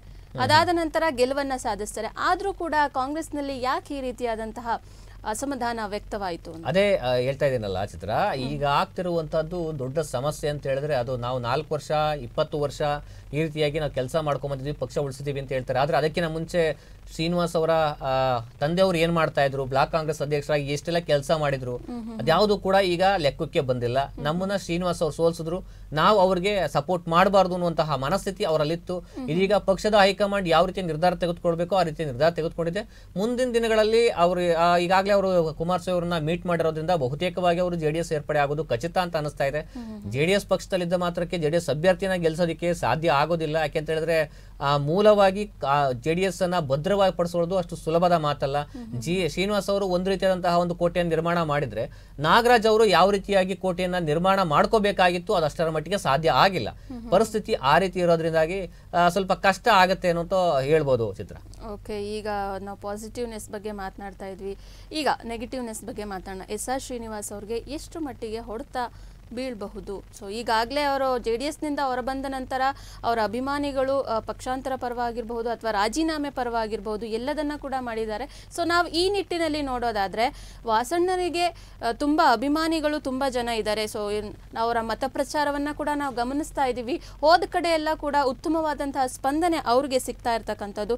ಸೊ ಇದ್ರ ಬಗ್ಗೆ ನಾವು ಮಾತನಾಡೋದಾದ್ರೆ ಎಷ್ಟು ಮಟ್ಟಿಗೆ ನೆಗೆಟಿವ್ ಆಗಬಹುದು ಅವ್ರಿಗೆ ಇನ್ನು ಶ್ರೀನಿವಾಸ್ ಅವ್ರ ಬಗ್ಗೆ ಹೇಳೋದಾದ್ರೆ ಈಗಾಗಲೇ ಕಾಂಗ್ರೆಸ್ ಪಕ್ಷದಲ್ಲಿದ್ದಾರೆ. ಕಾಂಗ್ರೆಸ್ ಪಕ್ಷದ ಮೂಲಕವಾಗಿ ಅವರು ಪ್ರಚಾರವನ್ನ ಆರಂಭಿಸಿದ್ದಾರೆ. ಪಕ್ಷದಲ್ಲಿ ಎಷ್ಟೇ ಜನ ಬಿಟ್ಟೋದ್ರು ಎಷ್ಟೇ ಜನ ಬಂದರೂ ಕೂಡ ಅವರಿಗೆ ಯಾವುದೇ ರೀತಿಯಾದಂತಹ ಬದಲಾವಣೆಗಳು ಆಗೋದಿಲ್ಲ. ಇನ್ನು ಇನ್ನ ಅವರ ಪ್ರಮುಖವಾಗಿರುವಂಥದ್ದು ಪ್ರಮುಖವಾಗಿ ಮುಖ್ಯವಾಗಿ ಅವರಿಗೆ ಸವಾಲಾಗಿ ಕಂಡು ಬರ್ತಾ ಇರೋದು ಅಂತ ಹೇಳಿದ್ರೆ ಚಿತ್ರ ಈ ಹಿಂದೆ ಕೂಡ ಅವರು ಜೆ ಡಿ ಎಸ್ ಪಕ್ಷದ ಮುಖವಾಣಿಯಾಗಿ ಗುರುತಿಸ್ಕೊಂಡು ಆ ಮೂಲಕವಾಗಿ ಮತವನ್ನ ಕೇಳೋದಕ್ಕೆ ಹೋಗ್ತಾ ಇದ್ರು. ಇವಾಗಲೂ ನಾವು ನೋಡದಂತೆ ಯಾರಾದ್ರೂ ಅವ್ರ ಎದುರುಗಡೆ ಹೋದ್ರೆ ನನಗೆ ಮತ ಹಾಕಿ ಅಂತ ಏನಾದ್ರು ಮನವಿ ಮಾಡಿದ್ರೆ ಆ ನಿಮ್ಗೆ ಗೊತ್ತಲ್ವಪ್ಪ ನಿನ್ ಗುರುತು ಗೊತ್ತು ನಾನು ವೋಟ್ ಹಾಕ್ತೀನಿ ಮತ ಹಾಕ್ತೀನಿ ಅಂತ ಜನ ಹೇಳ್ತಾರೆ ಹೊರತು ಅವ್ರ ಮರು ಪ್ರಶ್ನೆ ಏನಾದ್ರು ನೀವು ಯಾವ ಗೊತ್ತು ಯಾವ ಪಕ್ಷ ಗೊತ್ತಾ ಅಂತ ಕೇಳಿದ್ರೆ ಅದೇ ಅಲ್ವಾ ದಳ ಹಾಕ್ತೀನಿ ಹೋಗಪ್ಪ ಗೊತ್ತು ನನಗೆ ಅಂತ ಹೇಳ್ಬಿಟ್ಟು ಹೇಳ್ತಾರೆ. ಅಂತಹ ಪರಿಸ್ಥಿತಿ ಇನ್ನೂ ಕೂಡ ಗ್ರಾಮೀಣ ಪ್ರದೇಶದಲ್ಲಿದೆ.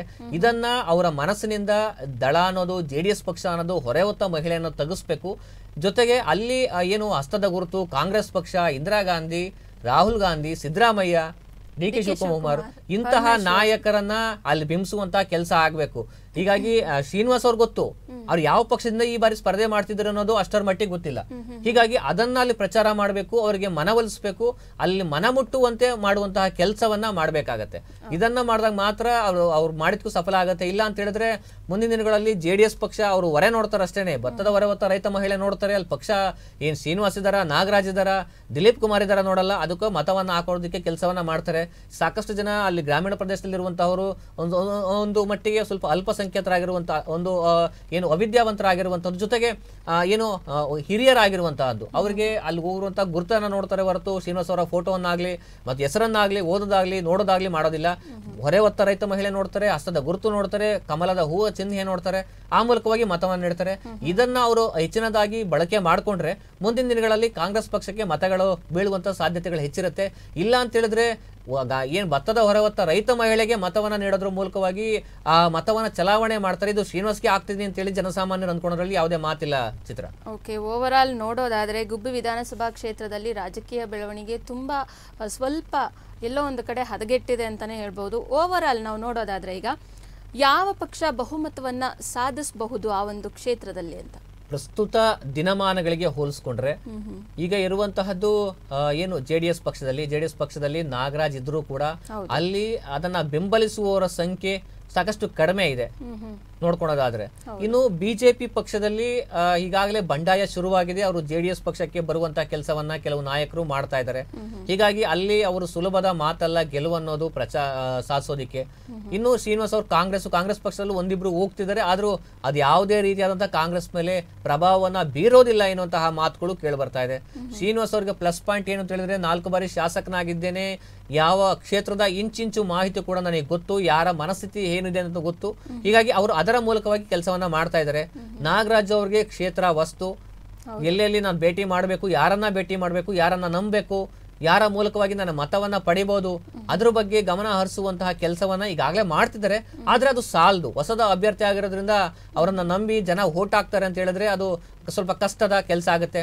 ಈಗಾಗಲೇ ದಿಲೀಪ್ ಕುಮಾರ್ ದಿಲೀಪ್ ಕುಮಾರ್ಗೆ ಟಿಕೆಟ್ ಘೋಷಣೆ ಆಗಿದೆ. ಕಳೆದ ಬಾರಿ ಆದಂತಹ ಅನ್ಯಾಯದ ವಿರುದ್ಧವಾಗಿ ಏನಾದರೂ ಗೊಲ್ಲ ಸಮುದಾಯ ಯಾದವ್ ಸಮುದಾಯ ತಿರುಗಿ ಬಿದ್ದರೆ ದಿಲೀಪ್ ಕುಮಾರ್ ಖಂಡಿತವಾಗ್ಲೂ ಈ ಒಂದು ಚುನಾವಣೆಯಲ್ಲಿ ಗೆಲ್ಲೋದಕ್ಕೆ ಸಾಧ್ಯ ಆಗೋದಿಲ್ಲ.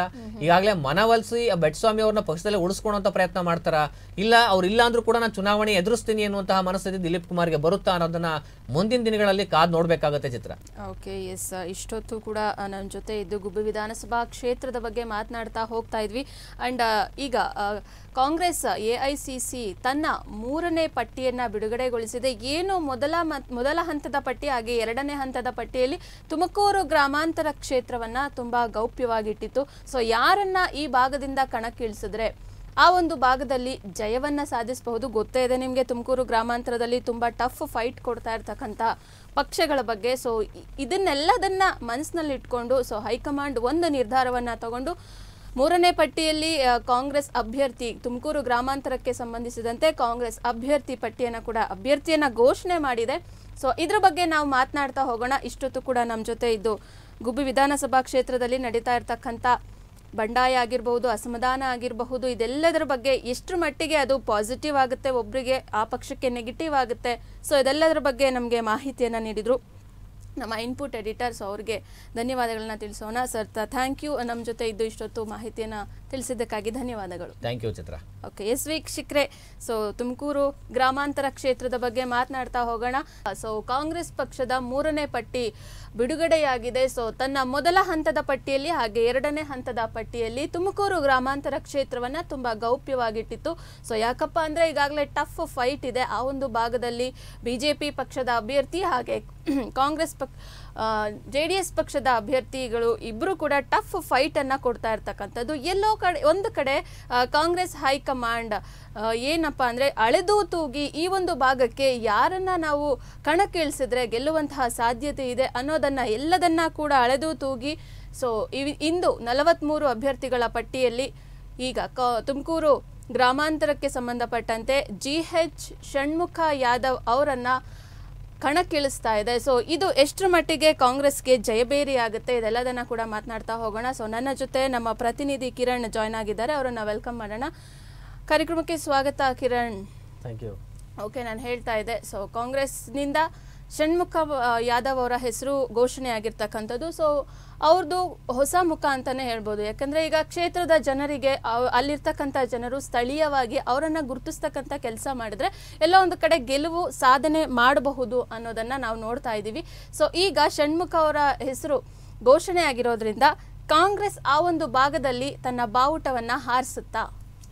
ಅದೇ ಮುಖ್ಯವಾಗಿ ಹೇಳ್ಬೇಕಂದ್ರೆ ತುಮಕೂರು ನಗರದ ಒಂದು ಕಾಂಗ್ರೆಸ್ ಟಿಕೆಟ್ ಯಾವ ರೀತಿಯಾಗಿ ಅನೌನ್ಸ್ ಆಯಿತು, ಅಲ್ಲೂ ಸಹ ಒಂದು ರೀತಿಗೆ ಶಾಕಿಂಗ್ ಆಗಿ ಸಾಮಾನ್ಯ ಕಾರ್ಯಕರ್ತರಿಗೆ. ಅಂದರೆ ಹಲವಾರು ವರ್ಷಗಳಿಂದ ಕಾಂಗ್ರೆಸ್ನಲ್ಲೇ ಕಾರ್ಯನಿರತರಾಗಿ ಹಲವಾರು ವರ್ಷಗಳಿಂದ ಕಾರ್ಯನಿರ್ವಹಿಸ್ಕೊಂಡು ಬಂದಂತಹ ಇಕ್ಬಾಲ್ ಅಹಮದ್ ಅವರಿಗೆ ಟಿಕೆಟ್ ನೀಡೋದ್ರ ಮೂಲಕ ಕಾಂಗ್ರೆಸ್ ಒಂದು ಟಿಕೆಟ್ ಅನೌನ್ಸ್ ಮಾಡಿ ಶಾಕ್ ಕೊಟ್ಟಿತ್ತು. ಹಾಗೆ ಇದೇ ತರನೇ ಈ ಬಾರಿಯೂ ಸಹ ತುಮಕೂರು ಗ್ರಾಮಾಂತರದಲ್ಲಿಯೂ ಮತ್ತೊಮ್ಮೆ ಸಾಮಾನ್ಯ ಕಾರ್ಯಕರ್ತರಿಗೆ ಟಿಕೆಟ್ ಕೊಟ್ಟಿರೋದು ಅಂತ ಹೇಳಿದ್ರೆ ತಪ್ಪಾಗ್ಲಾರ್ದು. ಯಾಕಪ್ಪ ಅಂದ್ರೆ ಆ, ಈ ಒಂದು ಗ್ರಾಮಾಂತರ ಕಾಂಗ್ರೆಸ್ ಟಿಕೆಟ್ನಲ್ಲಿ ಹಲವಾರು ಮಂದಿ ಏನಿಲ್ಲ ಅಂದ್ರೆ ಒಂದು ಏಳು ಜನ ಅರ್ಜಿನ ಸಲ್ಲಿಸಿದ್ದು ಇದಕ್ಕೆ. ಏಳು ಜನ ಅರ್ಜಿದಾರ ಆಗಿದ್ರು ಅರ್ಜಿನ ಸಲ್ಲಿಸಿದ್ದು ಕಾಂಗ್ರೆಸ್ ಟಿಕೆಟ್ ಆಕಾಂಕ್ಷಿಗಳಾಗಿ. ಅದರಲ್ಲಿ ಮುಖ್ಯವಾಗಿ ಹೆಸರುಗಳು ಕೇಳಿ ಬರ್ತಿದ್ದು ಎಚ್ ನಿಂಗಪ್ಪ ಮತ್ತೆ ಹಾಗೆ ಸೂರ್ಯ ಮುಕುಂದರಾಜು ಮತ್ತೆ ಹಾಗೆ ಬೆಟ್ಸಾಮ್ರ ಮತ್ತೆ ಹೀಗೆ ಆ ಒಂದು ಏಳು ಮಂದಿ ಟಿಕೆಟ್ ಆಕಾಂಕ್ಷಿಗಳಿದ್ದು ಅದರಲ್ಲಿ ಮುಖ್ಯವಾಗಿ ಎಚ್ ನಿಂಗಪ್ಪ ಅವರು ಇದ್ದಿದ್ದು. ಎಲ್ಲರ ಒಂದು ಗಮನ ಇದ್ದಿದ್ದೆ ಈ ಬಾರಿ ಕಾಂಗ್ರೆಸ್ ಟಿಕೆಟ್ ಗ್ರಾಮಾಂತರ ಎಚ್ ನಿಂಗಪ್ಪ ಅವ್ರಿಗೆ ಸಿಗೋದು ಅಂತ. ಯಾಕಪ್ಪ ಅಂದ್ರೆ ಎಷ್ಟು ಜನ ಆಕಾಂಕ್ಷಿಗಳಿದ್ರು ಟಿಕೆಟ್ ಆಕಾಂಕ್ಷಿಗಳು ಆ ಒಂದು ಗ್ರಾಮಾಂತರ ಏಳು ಜನ ಏಳು ಜನ ಟಿಕೆಟ್ ಆಕಾಂಕ್ಷಿಗಳಿದ್ದು ಅದರಲ್ಲಿ ಮುಖ್ಯ ಏನಪ್ಪಾ ಅಂದ್ರೆ ಕಾಂಗ್ರೆಸ್ನಲ್ಲಿ ಪ್ರಬಲರಾಗಿ ಒಂದು ರೀತಿಯಲ್ಲಿ ಎಲ್ಲಾ ಕಡೆ ಪ್ರಚಾರಗಳನ್ನ ಕೈಗೊಂಡು ಮತ್ತೆ ಹಾಗೆ ಅವರು ಮಾಡಿರುವಂತಹ ಹಿಂದೆ ಕಾಂಗ್ರೆಸ್ ಪಕ್ಷಕ್ಕೆ ಏನೆಲ್ಲ ಒಂದು ಕೆಲಸಗಳನ್ನ ನಿರ್ವಹಿಸಿದ್ರು ಮತ್ತೆ ಹಾಗೆ ಕಾಂಗ್ರೆಸ್ ಪಕ್ಷಕ್ಕಾಗಿ ಏನೆಲ್ಲ ಅವರು ದುಡ್ದಿದ್ರು ಅದೆಲ್ಲದನ್ನ ಹೋಲಿಸ್ಕೊಂಡ್ರೆ ಸೂರ್ಯ ಮುಖಂದ್ರ ಮತ್ತೆ ಎಚ್ ನಿಂಗಪ್ಪ ಅವರ ಹೆಸರು ಬಹಳಷ್ಟು ಕೇಳಿ ಬರ್ತಿದ್ದೆ. ಯಾಕಪ್ಪ ಅಂದ್ರೆ ಎಚ್ ನಿಂಗಪ್ಪ ಅವರು ಎರಡ್ ಸಾವಿರದ ನಾಲ್ಕರಲ್ಲಿ ಕುಣಿಗಲ್ ಕ್ಷೇತ್ರದಲ್ಲಿ ಸ್ಪರ್ಧಿಸಿ ಅಲ್ಲಿ ಒಂದ್ ಬಾರಿ ಎಂ ಎಲ್ ಎ ಸಹ ಆಗಿದ್ರು. ಮತ್ತೆ ಹಾಗೆ ತದನಂತರದಲ್ಲಿ ಇಲ್ಲಿ ತುಮಕೂರು ಗ್ರಾಮಾಂತರದಲ್ಲೇನೆ ಏನಪ್ಪಾ ಜೆ ಡಿ ಎಸ್ ಟಿಕೆಟ್ ಒಂದು ಭಿನ್ನಾಭಿಪ್ರಾಯ ಆಗಿತ್ತು. ಯಾಕಪ್ಪ ಅಂದ್ರೆ ಎಚ್ ನಿಂಗಪ್ಪ ಅವ್ರಿಗೆ ಮತ್ತೊಮ್ಮೆ ಟಿಕೆಟ್ ಕೊಡಬೇಕು ಅಂತ ಎರಡ್ ಸಾವಿರದ ಹದಿನೆಂಟರಲ್ಲಿ ಗೌರಿಶಂಕರ್ಗೆ ಬಂದಿದ್ದು. ತದನಂತರ ಅವರು ಮತ್ತೆ ಜೆ ಡಿ ಎಸ್ನಿಂದ ಬಿಟ್ಟು ನನಗೆ ಇಲ್ಲಿ ತಕ್ಕದಾದ ಮರ್ಯಾದೆ ಸಿಗ್ತಾ ಇಲ್ಲ. ಹಾಗಾಗಿ ನಾನು ಕಾಂಗ್ರೆಸ್ಗೆ ಬರ್ತೀನಿ ಅಂತ ಈ ಬಾರಿ ಅವರು ಕಾಂಗ್ರೆಸ್ಗೆ ಬಂದಿದ್ದು. ಮುಖ್ಯವಾಗಿ ಹೇಳ್ಬೇಕಂದ್ರೆ ಅವರ ಹೆಸರೇ ಪ್ರಚಲಿತದಲ್ಲಿ ಇದ್ದಿದ್ದು. ಎಲ್ಲರ ಕಾರ್ಯಕರ್ತರು ಅಷ್ಟೇ ಪ್ರತಿಯೊಬ್ಬರು ಎಚ್ ನಿಂಗಪ್ಪ ಅವರಿಗೆ ಈ ಬಾರಿ ಟಿಕೆಟ್ ಆಗೋದು ಅಂತ ಇದ್ದಿದ್ದು. ಈಗ ಎಲ್ಲರೂ ಸಹ ಶಾಕ್ ಆಗುವಂತಹ ರೀತಿಯಲ್ಲಿ ತುಮಕೂರು ಗ್ರಾಮಾಂತರಕ್ಕೆ ಷಣ್ಮುಗಪ್ಪ ಅನ್ನೋದ ಹೊಸ ಹೆಸರು ಕೇಳಿ ಬರ್ತಾ ಇರುವಂಥದ್ದು. ಇವರು ಷಣ್ಮುಗಪ್ಪನವರು ಹೇಳ್ಬೇಕಂದ್ರೆ ಇವರು ನಲ್ವತ್ತು ವರ್ಷದಿಂದನೂ ಕಾಂಗ್ರೆಸ್ನಲ್ಲೇ ಸಕ್ರಿಯರಾಗಿರೋರು. ಮತ್ತೆ ಮುಖ್ಯವಾಗಿ ಹೇಳ್ಬೇಕಂದ್ರೆ ಆ, ಷಣ್ಮುಗಪ್ಪನವರು ಹೆಚ್ಚಾಗಿ ಈ ಒಂದು ಪ್ರಚಾರ ಕಾರ್ಯಗಳಿರ್ಬೋದು ಮತ್ತೆ ಹಾಗೆ ಕಾಂಗ್ರೆಸ್ ಪಕ್ಷವನ್ನ ಎಲ್ಲಿ ಕಾರ್ಯಕ್ರಮಗಳಲ್ಲಿ ಬಿಂಬಿಸ್ಕೊಳ್ಳೋದಿರ್ಬೋದು ಎಲ್ಲದೂ ಸಹ ಕಮ್ಮಿನೇ. ಕಮ್ಮಿ ಅಂದ್ರೆ ಬಹಳಷ್ಟು ಕಮ್ಮಿ. ಅದರಲ್ಲೂ ಮುಖ್ಯವಾಗಿ ಹೇಳಬೇಕಂದ್ರೆ ಇವರ ಒಂದು ಪರಿವಾರಕ್ಕೆ ಬಂದ್ರೆ ಹಲವಾರು ಮಂದಿ ನಲವತ್ತು ವರ್ಷಗಳಿಂದಲೂ ಸಾವಿರದ ಒಂಬೈನೂರ ಎಪ್ಪತ್ತೆಂಟರಿಂದನೂ ಎಲ್ಲ ಇವರ ಕುಟುಂಬದವರು ಕಾಂಗ್ರೆಸ್ನಲ್ಲೇ ದುಡಿದಿರೋರು. ಈಗಲೂ ಅಟ್ ಪ್ರೆಸೆಂಟ್ ಎಲ್ಲರೂ ಸಹ ಕಾಂಗ್ರೆಸ್ನಲ್ಲೇ ದುಡಿತಾ ಇರುವಂಥವ್ರು. ಅದರಲ್ಲಿ ಮುಖ್ಯವಾಗಿ ಹೇಳಬೇಕಂದ್ರೆ ಸಾವಿರದ ಒಂಬೈನೂರ ಎಪ್ಪತ್ತೆಂಟರಲ್ಲಿ ಇವರಿಗೆ ಯಾಕೆ ಟಿಕೆಟ್ ಬಂತು ಅಂತ ಹೇಳೋದಾದರೆ ಇವರು ಸಹ ಸಹಾಯಕ ಕಾರ್ಯಪಾಲಕರಾಗಿ ಮಹಾನಗರ ಪಾಲಿಕೆ ಮತ್ತು ಹಾಗೆ ತುಮಕೂರು ನಗರಸಭೆ. ಇಲ್ಲೆಲ್ಲರೂ ಸಹ ಐದೈದು ವರ್ಷಗಳ ಕಾಲ ಕೆಲಸ ನಿರ್ವಹಿಸಿರುವಂಥದ್ದು. ಓಕೆ ಈಗಾಗಲೇ ಅಬ್ಬರದ ಪ್ರಚಾರವನ್ನ ಕೂಡ ಶುರು ಮಾಡ್ಕೊಂಡಿದ್ದಾರೆ. ಕಾಂಗ್ರೆಸ್ ಅಭ್ಯರ್ಥಿಯನ್ನ ಹೊರತುಪಡಿಸಿ ಈಗಿನ್ನೂ ಕೂಡ ಘೋಷಣೆ ಆಗಿರ್ತಕ್ಕಂಥದ್ದು ಹೆಸರು. ಸೊ ಜೆ ಡಿ ಎಸ್ ಅಭ್ಯರ್ಥಿಯಾಗಿರ್ತಕ್ಕಂಥ ಗೌರಿ ಶಂಕರ್ ಹಾಗೆ ಬಿಜೆಪಿ ಅಭ್ಯರ್ಥಿ ಆಗಿರ್ತಕ್ಕಂಥ ಸುರೇಶ್ ಗೌಡರು ಅಬ್ಬರದ ಪ್ರಚಾರವನ್ನ ಕೂಡ ಶುರು ಹಚ್ಕೊಂಡಿದ್ದಾರೆ. ಸೊ ಈ ಈ ಕ್ಷೇತ್ರದಲ್ಲಿ ಕಾಂಗ್ರೆಸ್ ಎಷ್ಟು ಮಟ್ಟಿಗೆ ತನ್ನ ಅಸ್ತಿತ್ವವನ್ನ ಸಾಧಿಸಬಹುದು? ಮುಖ್ಯವಾಗಿ ಹೇಳ್ಬೇಕಂದ್ರೆ ತುಮಕೂರು ಗ್ರಾಮಾಂತರದಲ್ಲಿ ಎರಡ್ ಸಾವಿರದ ಎಂಟರಿಂದ ಯಾವಾಗ ತುಮಕೂರು ಒಂದು ಗ್ರಾಮಾಂತರ ಆಡಳಿತ ಶುರುವಾಯ್ತು ಅಲ್ಲಿಂದನೂ ಸಹ ಈಗ ಎರಡು ಬಾರಿ ಬಿಜೆಪಿ ಗೆದ್ದಿರುವಂತದ್ದು ಇನ್ನು ಒಂದು ಬಾರಿ ಜೆ ಡಿ ಎಸ್ ಜಯಬೇರಿನ ಸಾಧಿಸಿರುವಂತದ್ದು ಇದರ ನಡುವೆ ಇನ್ನ ಎರಡ್ ಸಾವಿರದ ಎಂಟರಲ್ಲಿ ಹೇಳೋದಾದ್ರೆ ಎಚ್ ನಿಂಗಪ್ಪ ಅವರು ಜೆ ಡಿ ಎಸ್ನಿಂದ ಸ್ಪರ್ಧಿಸಿದ್ರೆ ಆಗ್ಲೂ ಸಹ ಬಿಜೆಪಿ ಗೆದ್ದಿದ್ದು. ಮತ್ತೆ ಹಾಗೆ ಎರಡ್ ಸಾವಿರದ ಹದಿಮೂರಲ್ಲಿ ಹೇಳೋದಾದ್ರೆ ಅಲ್ಲೂ ಸಹ ಎಚ್ ನಿಂಗಪ್ಪ ಅವರು ಪೈಪೋಟಿ ನೀಡಿದ್ರು ಪಿ ಪಕ್ಷದಿಂದ ಮತ್ತೆ ಹಾಗೆ ಗೌರಿ ಶಂಕರ್ ಮತ್ತೆ ಬಿಜೆಪಿ ನಡುವೆ ಒಂದು ರೀತಿಯಲ್ಲಿ ಬಹಳಷ್ಟು ಸೆಣಸಾಟ ಇದ್ದದಂಥದ್ದು ಅಲ್ಲೂ ಒಂದು ಸಾವಿರದ ಐನೂರು ಮತದಲ್ಲಿ ಮಾತ್ರ ಗೆದ್ದಿದಂಥದ್ದು ಎರಡ್ ಸಾವಿರದ ಹದಿಮೂರಲ್ಲಿ. ಮತ್ತೆ ಹಾಗೆ ಎರಡ್ ಸಾವಿರದ ಹದಿನೆಂಟರಲ್ಲಿ ಆ, ಬಹಳಷ್ಟು ಪೈಪೋಟಿ ಕೊಟ್ಟು ಜೆ ಡಿ ಎಸ್ ಒಂದು ಗೆದ್ದಿದ್ದು. ಅಂದ್ರೆ ಸುರೇಶ್ ಗೌಡರು ಗೆದ್ದಿದ್ದು. ಅದು ಎಷ್ಟು ಕೇವಲ ಐದು ಸಾವಿರ ಮತದ ಅಂತರದಲ್ಲಿ. ಗೌರಿಶಂಕರ್. ಹಾಗಾಗಿ ಈ ಪ್ರಚಲಿತವಾಗಿ ಹೇಳ್ಬೇಕಂದ್ರೆ ಕಾಂಗ್ರೆಸ್ ಪಕ್ಷ ಈಗ ಬೇರೆ ಪಕ್ಷ ಫಸ್ಟ್ ಇದಕ್ಕೆ ಬಂದ್ಬಿಡ್ತೀನಿ. ಜೆ ಡಿ ಎಸ್ ಪಕ್ಷದಲ್ಲಿ ಹೇಳೋದಾದ್ರೆ ಪಂಚರತ್ನ ರಥಯಾತ್ರೆಗಳಿರ್ಬೋದು ಕುಮಾರಸ್ವಾಮಿನ ಇರ್ಬೋದು ನಿಖಿಲ್ ಕುಮಾರಸ್ವಾಮಿಯವ್ರನ್ನ ನಿಖಿಲ್ ಕುಮ- ಕುಮಾರಸ್ವಾಮಿ ಅವ್ರನ್ನ ಕರ್ಸಿರೋವಂಥದ್ದು ಇರ್ಬೋದು. ಎಲ್ಲಾ ರೀತಿಯಲ್ಲೂ ಒಂದ್ ರೀತಿಯಲ್ಲಿ ಮತದಾರರ ಸಭೆ ಹೌದು. ಮೇನ್ ಕಾರ್ಯಕರ್ತರ ಸಭೆ ಕಾರ್ಯಕ್ರಮ ಸಮಾವೇಶ ಇದೆಲ್ಲದನ್ನ ಕೂಡ ಜೋರಾಗೆ ಮಾಡಿದ್ದಾರೆ. ಹೌದು. ಮತ್ತೆ ಈಗ ಸುರೇಶ್ ಗೌಡ್ರು ಅಷ್ಟೇ ಆ, ಏನಪ್ಪಾ ಹಲವಾರು ಜೆ ಪಿ ನಡ್ಡಾ ಅವರು ಬಂದಿದ್ರು ಅವ್ರನ್ನೂ ಸಹ ಕರೆಸಿದ್ರು. ಮತ್ತೆ ಹಾಗೆ ಇನ್ನು ಎಲ್ಲ ಬಿಜೆಪಿಯ ಮುಖಂಡರುಗಳನ್ನ ಸಹ ಕರೆಸಿ ಅವರು ಸಹ ಬೃಹತ್ ಸಮಾವೇಶಗಳನ್ನ ಮಾಡಿದ್ರು. ಮತ್ತೆ ಈಗಲೂ ಸಹ ಬಹಳಷ್ಟು ಪ್ರಚಾರ ಕಾರ್ಯದಲ್ಲಿ ತೊಡಗಿರುವಂಥದ್ದು. ಮುಖ್ಯವಾಗಿ ಹೇಳಬೇಕಂದ್ರೆ ಇಷ್ಟು ದಿನಗಳ ಕಾಲವೂ ಸಹ ಕಾಂಗ್ರೆಸ್ ಪಕ್ಷದಲ್ಲಿ ಯಾವೊಬ್ಬ ಪ್ರಬಲ ಅಭ್ಯರ್ಥಿ ಇರಲಿಲ್ಲ. ಹಾಗಾಗಿನೇ ಕೇವಲ ಇಲ್ಲಿ ಪೈಪೋಟಿ ಇದ್ದಿದ್ದು ಒಂದು ಜೆ ಡಿ ಎಸ್ ಮತ್ತೆ ಬಿಜೆಪಿಯ ನಡುವೆ. ಯಾಕಪ್ಪ ಅಂದರೆ ಅಲ್ಲಿ ಈಗಲೂ ಸಹ ಒಂದು ಪ್ರಬಲ ಅಭ್ಯರ್ಥಿ ಇಲ್ಲ ಅಂಥದ್ದು ಆದರೆ ಈ ಬಾರಿನೂ ಒಂದು ರೀತಿಯಲ್ಲಿ ಷಣ್ಮುಗಪ್ಪನವ್ರಿಗೆ ಟಿಕೆಟ್ ಕೊಟ್ಟಿರುವಂಥದ್ದು ಪ್ರಬಲ ಅಭ್ಯರ್ಥಿ ಅಲ್ಲ ಅನ್ಸೋದು ನಮ್ಮ ಅಭಿಪ್ರಾಯ. ಈಗ ನಾವು ನೋಡೋದಾದ್ರೆ ಎಷ್ಟು ಮಟ್ಟಿಗೆ ಅವರು ತಮ್ಮ ಪ್ರಚಾರವನ್ನ ಚುರುಕುಗೊಳಿಸಿದ್ರೆ ತಮ್ಮ ಪ್ರಚಾರವನ್ನ ಹೆಚ್ಚಿಗೆ ಮಾಡಿದ್ರೆ ಸೊ ಕಾಂಗ್ರೆಸ್ನ ಆ ಒಂದು ಭಾಗದಲ್ಲಿ ಅಧಿಕಾರಕ್ಕೆ ತರಬಹುದಾದಂತಹ ಒಂದು ಸಿಚುಯೇಷನ್ ಇರುತ್ತಾ? ಹೌದು. ಈಗ ಮುಖ್ಯವಾಗಿ ಹೇಳ್ಬೇಕಂದ್ರೆ ಷಣ್ಮುಗಪ್ಪನವರು ಗೊಲ್ಲ ಸಮುದಾಯದಿಂದ ಬಂದಂತವ್ರು ಯಾದವ್ರು ಅವರು. ಹಾಗಾಗಿ ಈ ಒಂದು ಪ್ರಾಂತ್ಯದಲ್ಲಿ ಯಾಕಪ್ಪ ಅಂದ್ರೆ ಕಾಂಗ್ರೆಸ್ ಅಭ್ಯರ್ಥಿ ಒಬ್ಬ ಸಾಮಾನ್ಯ ಕಾರ್ಯಕರ್ತನಿಗೆ ಕೊಟ್ಟು ಮತ್ತು ತಳ ಸಮುದಾಯದವರಿಗೆ ಈ ಬಾರಿ ಟಿಕೆಟ್ ಕೊಟ್ಟಿರುವಂಥದ್ದು ಎಲ್ಲ ಒಂದು ಕಡೆ ಜನಗಳಲ್ಲಿ ಒಂದು ಅನುಕಂಪ ಸಹ ಮೂಡ್ಬೋದು. ಯಾಕಪ್ಪ ಅಂದ್ರೆ ಇಲ್ಲಿ ತುಮಕೂರು ಗ್ರಾಮಾಂತರ ಭಾಗದಲ್ಲಿ ಹೆಚ್ಚಿನದಾಗಿ ಏನಪ್ಪಾ ಒಕ್ಕಲಿಗರು ಮತ್ತೆ ಹಾಗೆ ಅದರಲ್ಲಿ ಎಸ್ ಸಿ ಅವರು ಎಸ್ ಸಿ ಜನಾಂಗದವರು ಬಹಳಷ್ಟು ಸಂಖ್ಯೆಯಲ್ಲಿ ಇರುವಂಥದ್ದು. ಅಂದ್ರೆ ಒಕ್ಲಿಗರು ಬಿಟ್ಟರೆ ನೆಕ್ಸ್ಟ್ ಒಕ್ಲಿಗರು ಲಿಂಗಾಯತರು ಬಿಟ್ಟರೆ ನೆಕ್ಸ್ಟ್ ಎಸ್ ಸಿ ಜನಾಂಗದವರು ಹೆಚ್ಚಾಗಿ ಇರುವಂಥದ್ದು. ಹಾಗಾಗಿ ಈ ಒಂದು ಭಾಗದಲ್ಲಿ ಈಗ ಷಣ್ಮುಖಪ್ಪನವರು ಏನಾದರೂ ಈ ಒಂದು ಸಮಯದಲ್ಲಿ ಸಿದ್ದರಾಮಯ್ಯನವ್ರನ್ನ ಕರ್ಸೋವಂಥದ್ದು ಇರ್ಬೋದು ಮತ್ತೆ ಹಾಗೆ ಡಿ ಕೆ ಶಿವಕುಮಾರನ್ನ ಕರ್ಸೋವಂಥದ್ದು ಇರ್ಬೋದು ಏನೆಲ್ಲ ಒಂದು ಚುನಾವಣೆ ಗಿಮಿಕ್ ಮಾಡ್ಬೋದು? ಪ್ರಚಾರ ಕಾರ್ಯ ಅಂದರೆ ಸಭಾ ಸಮಾವೇಶಗಳು ಮಾಡೋದಿರ್ಬೋದು, ಮತ್ತು ಎಲ್ಲ ಒಂದು ರೀತಿಯಲ್ಲಿ ಸಭೆಯನ್ನು ಸೇರಿಸುವಂಥದ್ದು ಇರ್ಬೋದು ಈ ಟೈಮಲ್ಲಿ ಈಗಿರುವಂತಹ ಒಂದು ಕೇವಲ ಒಂದು ಇನ್ನೊಂದು ಇಪ್ಪತ್ತು ದಿನಗಳ ಕಾಲ ಅಷ್ಟೇ, ಇಪ್ಪತ್ತೆಂಟು ದಿನಗಳ ಕಾಲ ಅಷ್ಟೇ ಸಮಯ ಇರೋದು. ಈ ಒಂದು ಸಮಯದಲ್ಲೇ ಈಗ ಅಭ್ಯರ್ಥಿ ಷಣ್ಮುಗಪ್ಪನವರು, ಹಾಗಾಗಿ ಇವರು ತಳ ಸಮುದಾಯದವರು ಅಂತ ಹೇಳಿ ಸಿದ್ದರಾಮಯ್ಯನ ಕರೆಸಿದ್ದೇ ಆದ್ರೆ ಒಂದ್ ರೀತಿಯಲ್ಲಿ ಕಾಂಗ್ರೆಸ್ನಲ್ಲಿ ಮತ್ತೊಮ್ಮೆ ಇಲ್ಲಿ ತ್ರಿಕೋನ ಸ್ಪರ್ಧೆ ಏರ್ಪಡಿಸಲು ಯಾವುದೇ ಸಂಶಯ ಇಲ್ಲ ಅಂತಾನೆ ಹೇಳ್ಬೋದು. ಯಾಕಪ್ಪ ಅಂದ್ರೆ ಇಲ್ಲಿ ಕೇವಲ ಪೈಪೋಟಿ ನಡೀತಿದ್ದು ಸುರೇಶ್ ಗೌಡರು ಮತ್ತೆ ಗೌರಿ ಶಂಕರು. ಇಬ್ರು ಸಹ ಒಂದೇ ಸಮುದಾಯದವರು. ಮತ್ತೆ ಹಾಗೆ ಇಲ್ಲಿ ಈ ಬಾರಿ ಷಣ್ಮುಗಪ್ಪನವ್ರು ಏನಾದರೂ ಕಷ್ಟಪಟ್ಟು ಒಂದು ರೀತಿಯಲ್ಲಿ ರಾಜಕೀಯವಾಗಿ ಹೆಚ್ಚಿನ ಹೆಚ್ಚಿನದಾಗಿ ಒಂದು ರೀತಿಯಲ್ಲಿ ಪರಿಣಿತರಾಗಿ ಎಕ್ಸ್ಪೀರಿಯನ್ಸ್ ಇರೋ ರೀತಿಯಲ್ಲಿ ಏನಾದರೂ ಅವರೇನಾದರೂ ಸಮಾವೇಶಗಳು ಕಾರ್ಯಗಳು ಬೇಗ ಈ ಸಂದರ್ಭದಲ್ಲಿ ಮಾಡಿದ್ದೆ ಆದರೆ ಅಚಾನಕ್ ಆಗಿ ಈ ಬಾರಿ ಬಹಳಷ್ಟು ಪೈಪೋಟಿ ಹೊಡೋದ್ರಲ್ಲಿ ಯಾವುದೇ ಸಂಶಯ ಇರೋದಿಲ್ಲ. ಓಕೆ ಓವರ್ ಆಲ್ ನೋಡೋದಾದ್ರೆ ಸೊ ಯಾವ ಪಕ್ಷ ಆ ಒಂದು ಭಾಗದಲ್ಲಿ ಬಹುಮತವನ್ನ ಸಾಧಿಸಬಹುದು ಅಂತ? ಹೌದು. ಈಗ ನಡೆದಿರುವಂತಹ ಈಗ ನಾವು ಸಹ ಸಮೀಕ್ಷೆಗೆಲ್ಲ- ಸಮೀಕ್ಷೆಗೆಲ್ಲ ಮಾಡಿದ್ವಿ ಮತ್ತೆ ಹಾಗೆ ನಾವು ಇಡೀ ಗ್ರಾಮಾಂತರ ಮತ್ತೆ ಪ್ರತಿಯೊಂದು ಹಳ್ಳಿ ಹಳ್ಳಿಗೆ ಹೋಗಿ ಜನರ ಅಭಿಪ್ರಾಯಗಳನ್ನ ಕೇಳ್ಕೊಂಡು ಬಂದಿದ್ದೀವಿ. ಇದೆಲ್ಲದ್ರಲ್ಲೇ ಒಂದು ರೀತಿಯಲ್ಲಿ ನೋಡೋದಾದ್ರೆ ಆ, ಈ ಕಡೆ ಗೌರಿಶಂಕರ ಒಂದು ಸಹಮತ ಅಂದ್ರೆ ಅಭಿಮತ ಸಹ ಜಾಸ್ತಿ ಇದೆ ಅನ್ನೋಕ್ಕಾಗ್ತಿಲ್ಲ ಈ ಕಡೆ ಸುರೇಶ್ ಗೌಡರು ಸಹ ಜಾಸ್ತಿ ಇದೆ ಅನ್ನೋಕ್ಕಾಗ್ತಿಲ್ಲ ಯಾಕಪ್ಪ ಅಂದ್ರೆ ಈ ಬಾರಿ ಬಹಳಷ್ಟು ಟಫ್ ಫೈಟ್ ಇದೆ ಈ ಇಬ್ಬರ ನಡುವೆ. ಅದೇ ರೀತಿಯಾಗಿ ಮತ್ತಷ್ಟು ಮತಗಳನ್ನ ಸೆಳಿಬೇಕಂದ್ರೆ ಅಲ್ಲಿ ಈ ಬಾರಿ ಕಾಂಗ್ರೆಸ್ ಅಲ್ಲೇ ಅಭ್ಯರ್ಥಿ ಷಣ್ಮುಗಪ್ಪನವರು ಯಾಕಂದ್ರೆ ಅವರು ತಳ ಸಮುದಾಯದವರು ಇವರೇನಾದ್ರು ಈಗ ಆ, ಏನಪ್ಪ ಕಾಂಗ್ರೆಸ್ಗಾಗಿಯೇ ಸೀಮಿತವಾಗಿರುವಂತಹ ಮತಗಳು ಬಹಳಷ್ಟಿದಾವೆ ಆ ಒಂದು ಭಾಗದಲ್ಲಿ. ಹಾಗಾಗಿ ಅವ್ರನ್ನ ಒಂದು ಸೆಳೆತಕ್ಕೆ ಒಳಗಾಗ್ಬೇಕಂದ್ರೆ ಎಷ್ಟು ಬೇಗ ಇವರು ಸಮಾವೇಶಗಳು ಮತ್ತೆ ಹಾಗೆ ಒಂದು ರಾಜಕೀಯ ಗಿಮಿಗಳು ಮತ್ತೆ ಪ್ರಚಾರ ಕಾರ್ಯವನ್ನ ಎಷ್ಟು ಬೇಗ ಶುರು ಮಾಡ್ತಾರೆ ಅಷ್ಟು ಇವ್ರಿಗೆ ಸಹ ಒಂದು ಬೆನಿಫಿಟ್ ಆಗಲಿದೆ.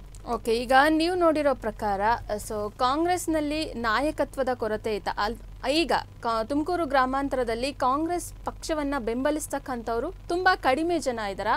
ಅಥವಾ ಕಾಂಗ್ರೆಸ್ನಲ್ಲಿ ನಾಯಕತ್ವದ ಕೊರತೆ ಈ ಹಿಂದೆ ಇತ್ತ? ಮುಖ್ಯವಾಗಿ ಹೇಳ್ಬೇಕಂದ್ರೆ ಇಲ್ಲಿ ಬೆಂಬಲಕ್ಕಿನ್ನ ಮುನಿಸುಗಳು ಜಾಸ್ತಿ. ಈಗ ನಾನು ಹೇಳ್ದ ಹಾಗೆ ಕಾಂಗ್ರೆಸ್ನಲ್ಲಿ ಏಳು ಜನ ಈ ಬಾರಿ ಟಿಕೆಟ್ ಆಕಾಂಕ್ಷೆಗಳಿದ್ದಿದ್ದು ಅವರೆಲ್ಲರೂ ಸಹ ಅರ್ಜಿ ಸಲ್ಲಿಸ್ತಿದ್ದು ಇವರೆಲ್ಲ ಕಾಂಗ್ರೆಸ್ ಪಕ್ಷದಾಗಿ ಈ ಬಾರಿ ಷಣ್ಮುಗಪ್ಪನವ್ರನ್ನ ಒಂದ್ ರೀತಿಯಲ್ಲಿ ಹೈಕಮಾಂಡ್ ಸೆಲೆಕ್ಟ್ ಮಾಡಿದೆ. ಹೌದು ಒಂದ್ ರೀತಿಯಾಗಿ ನೋಡೋದಾದ್ರೆ ನಾಯಕತ್ವದ ಕೊರತೆ ಅಂತ ನಾಯಕತ್ವದ ಅಂದ್ರೆ ಅದರಲ್ಲೂ ಪ್ರಬಲ ನಾಯಕತ್ವದ ಕೊರತೆ. ಪ್ರಬಲ ನಾಯಕತ್ವದ ಕೊರತೆ ಇದೆ ಅಂದ್ರೆ ತಪ್ಪಾಗಲ್ಲ. ಹಾಗೆ ಈ ಬಾರಿ ಯಾಕಂದ್ರೆ ಇವರು ತಳ ಸಮುದಾಯದವರು.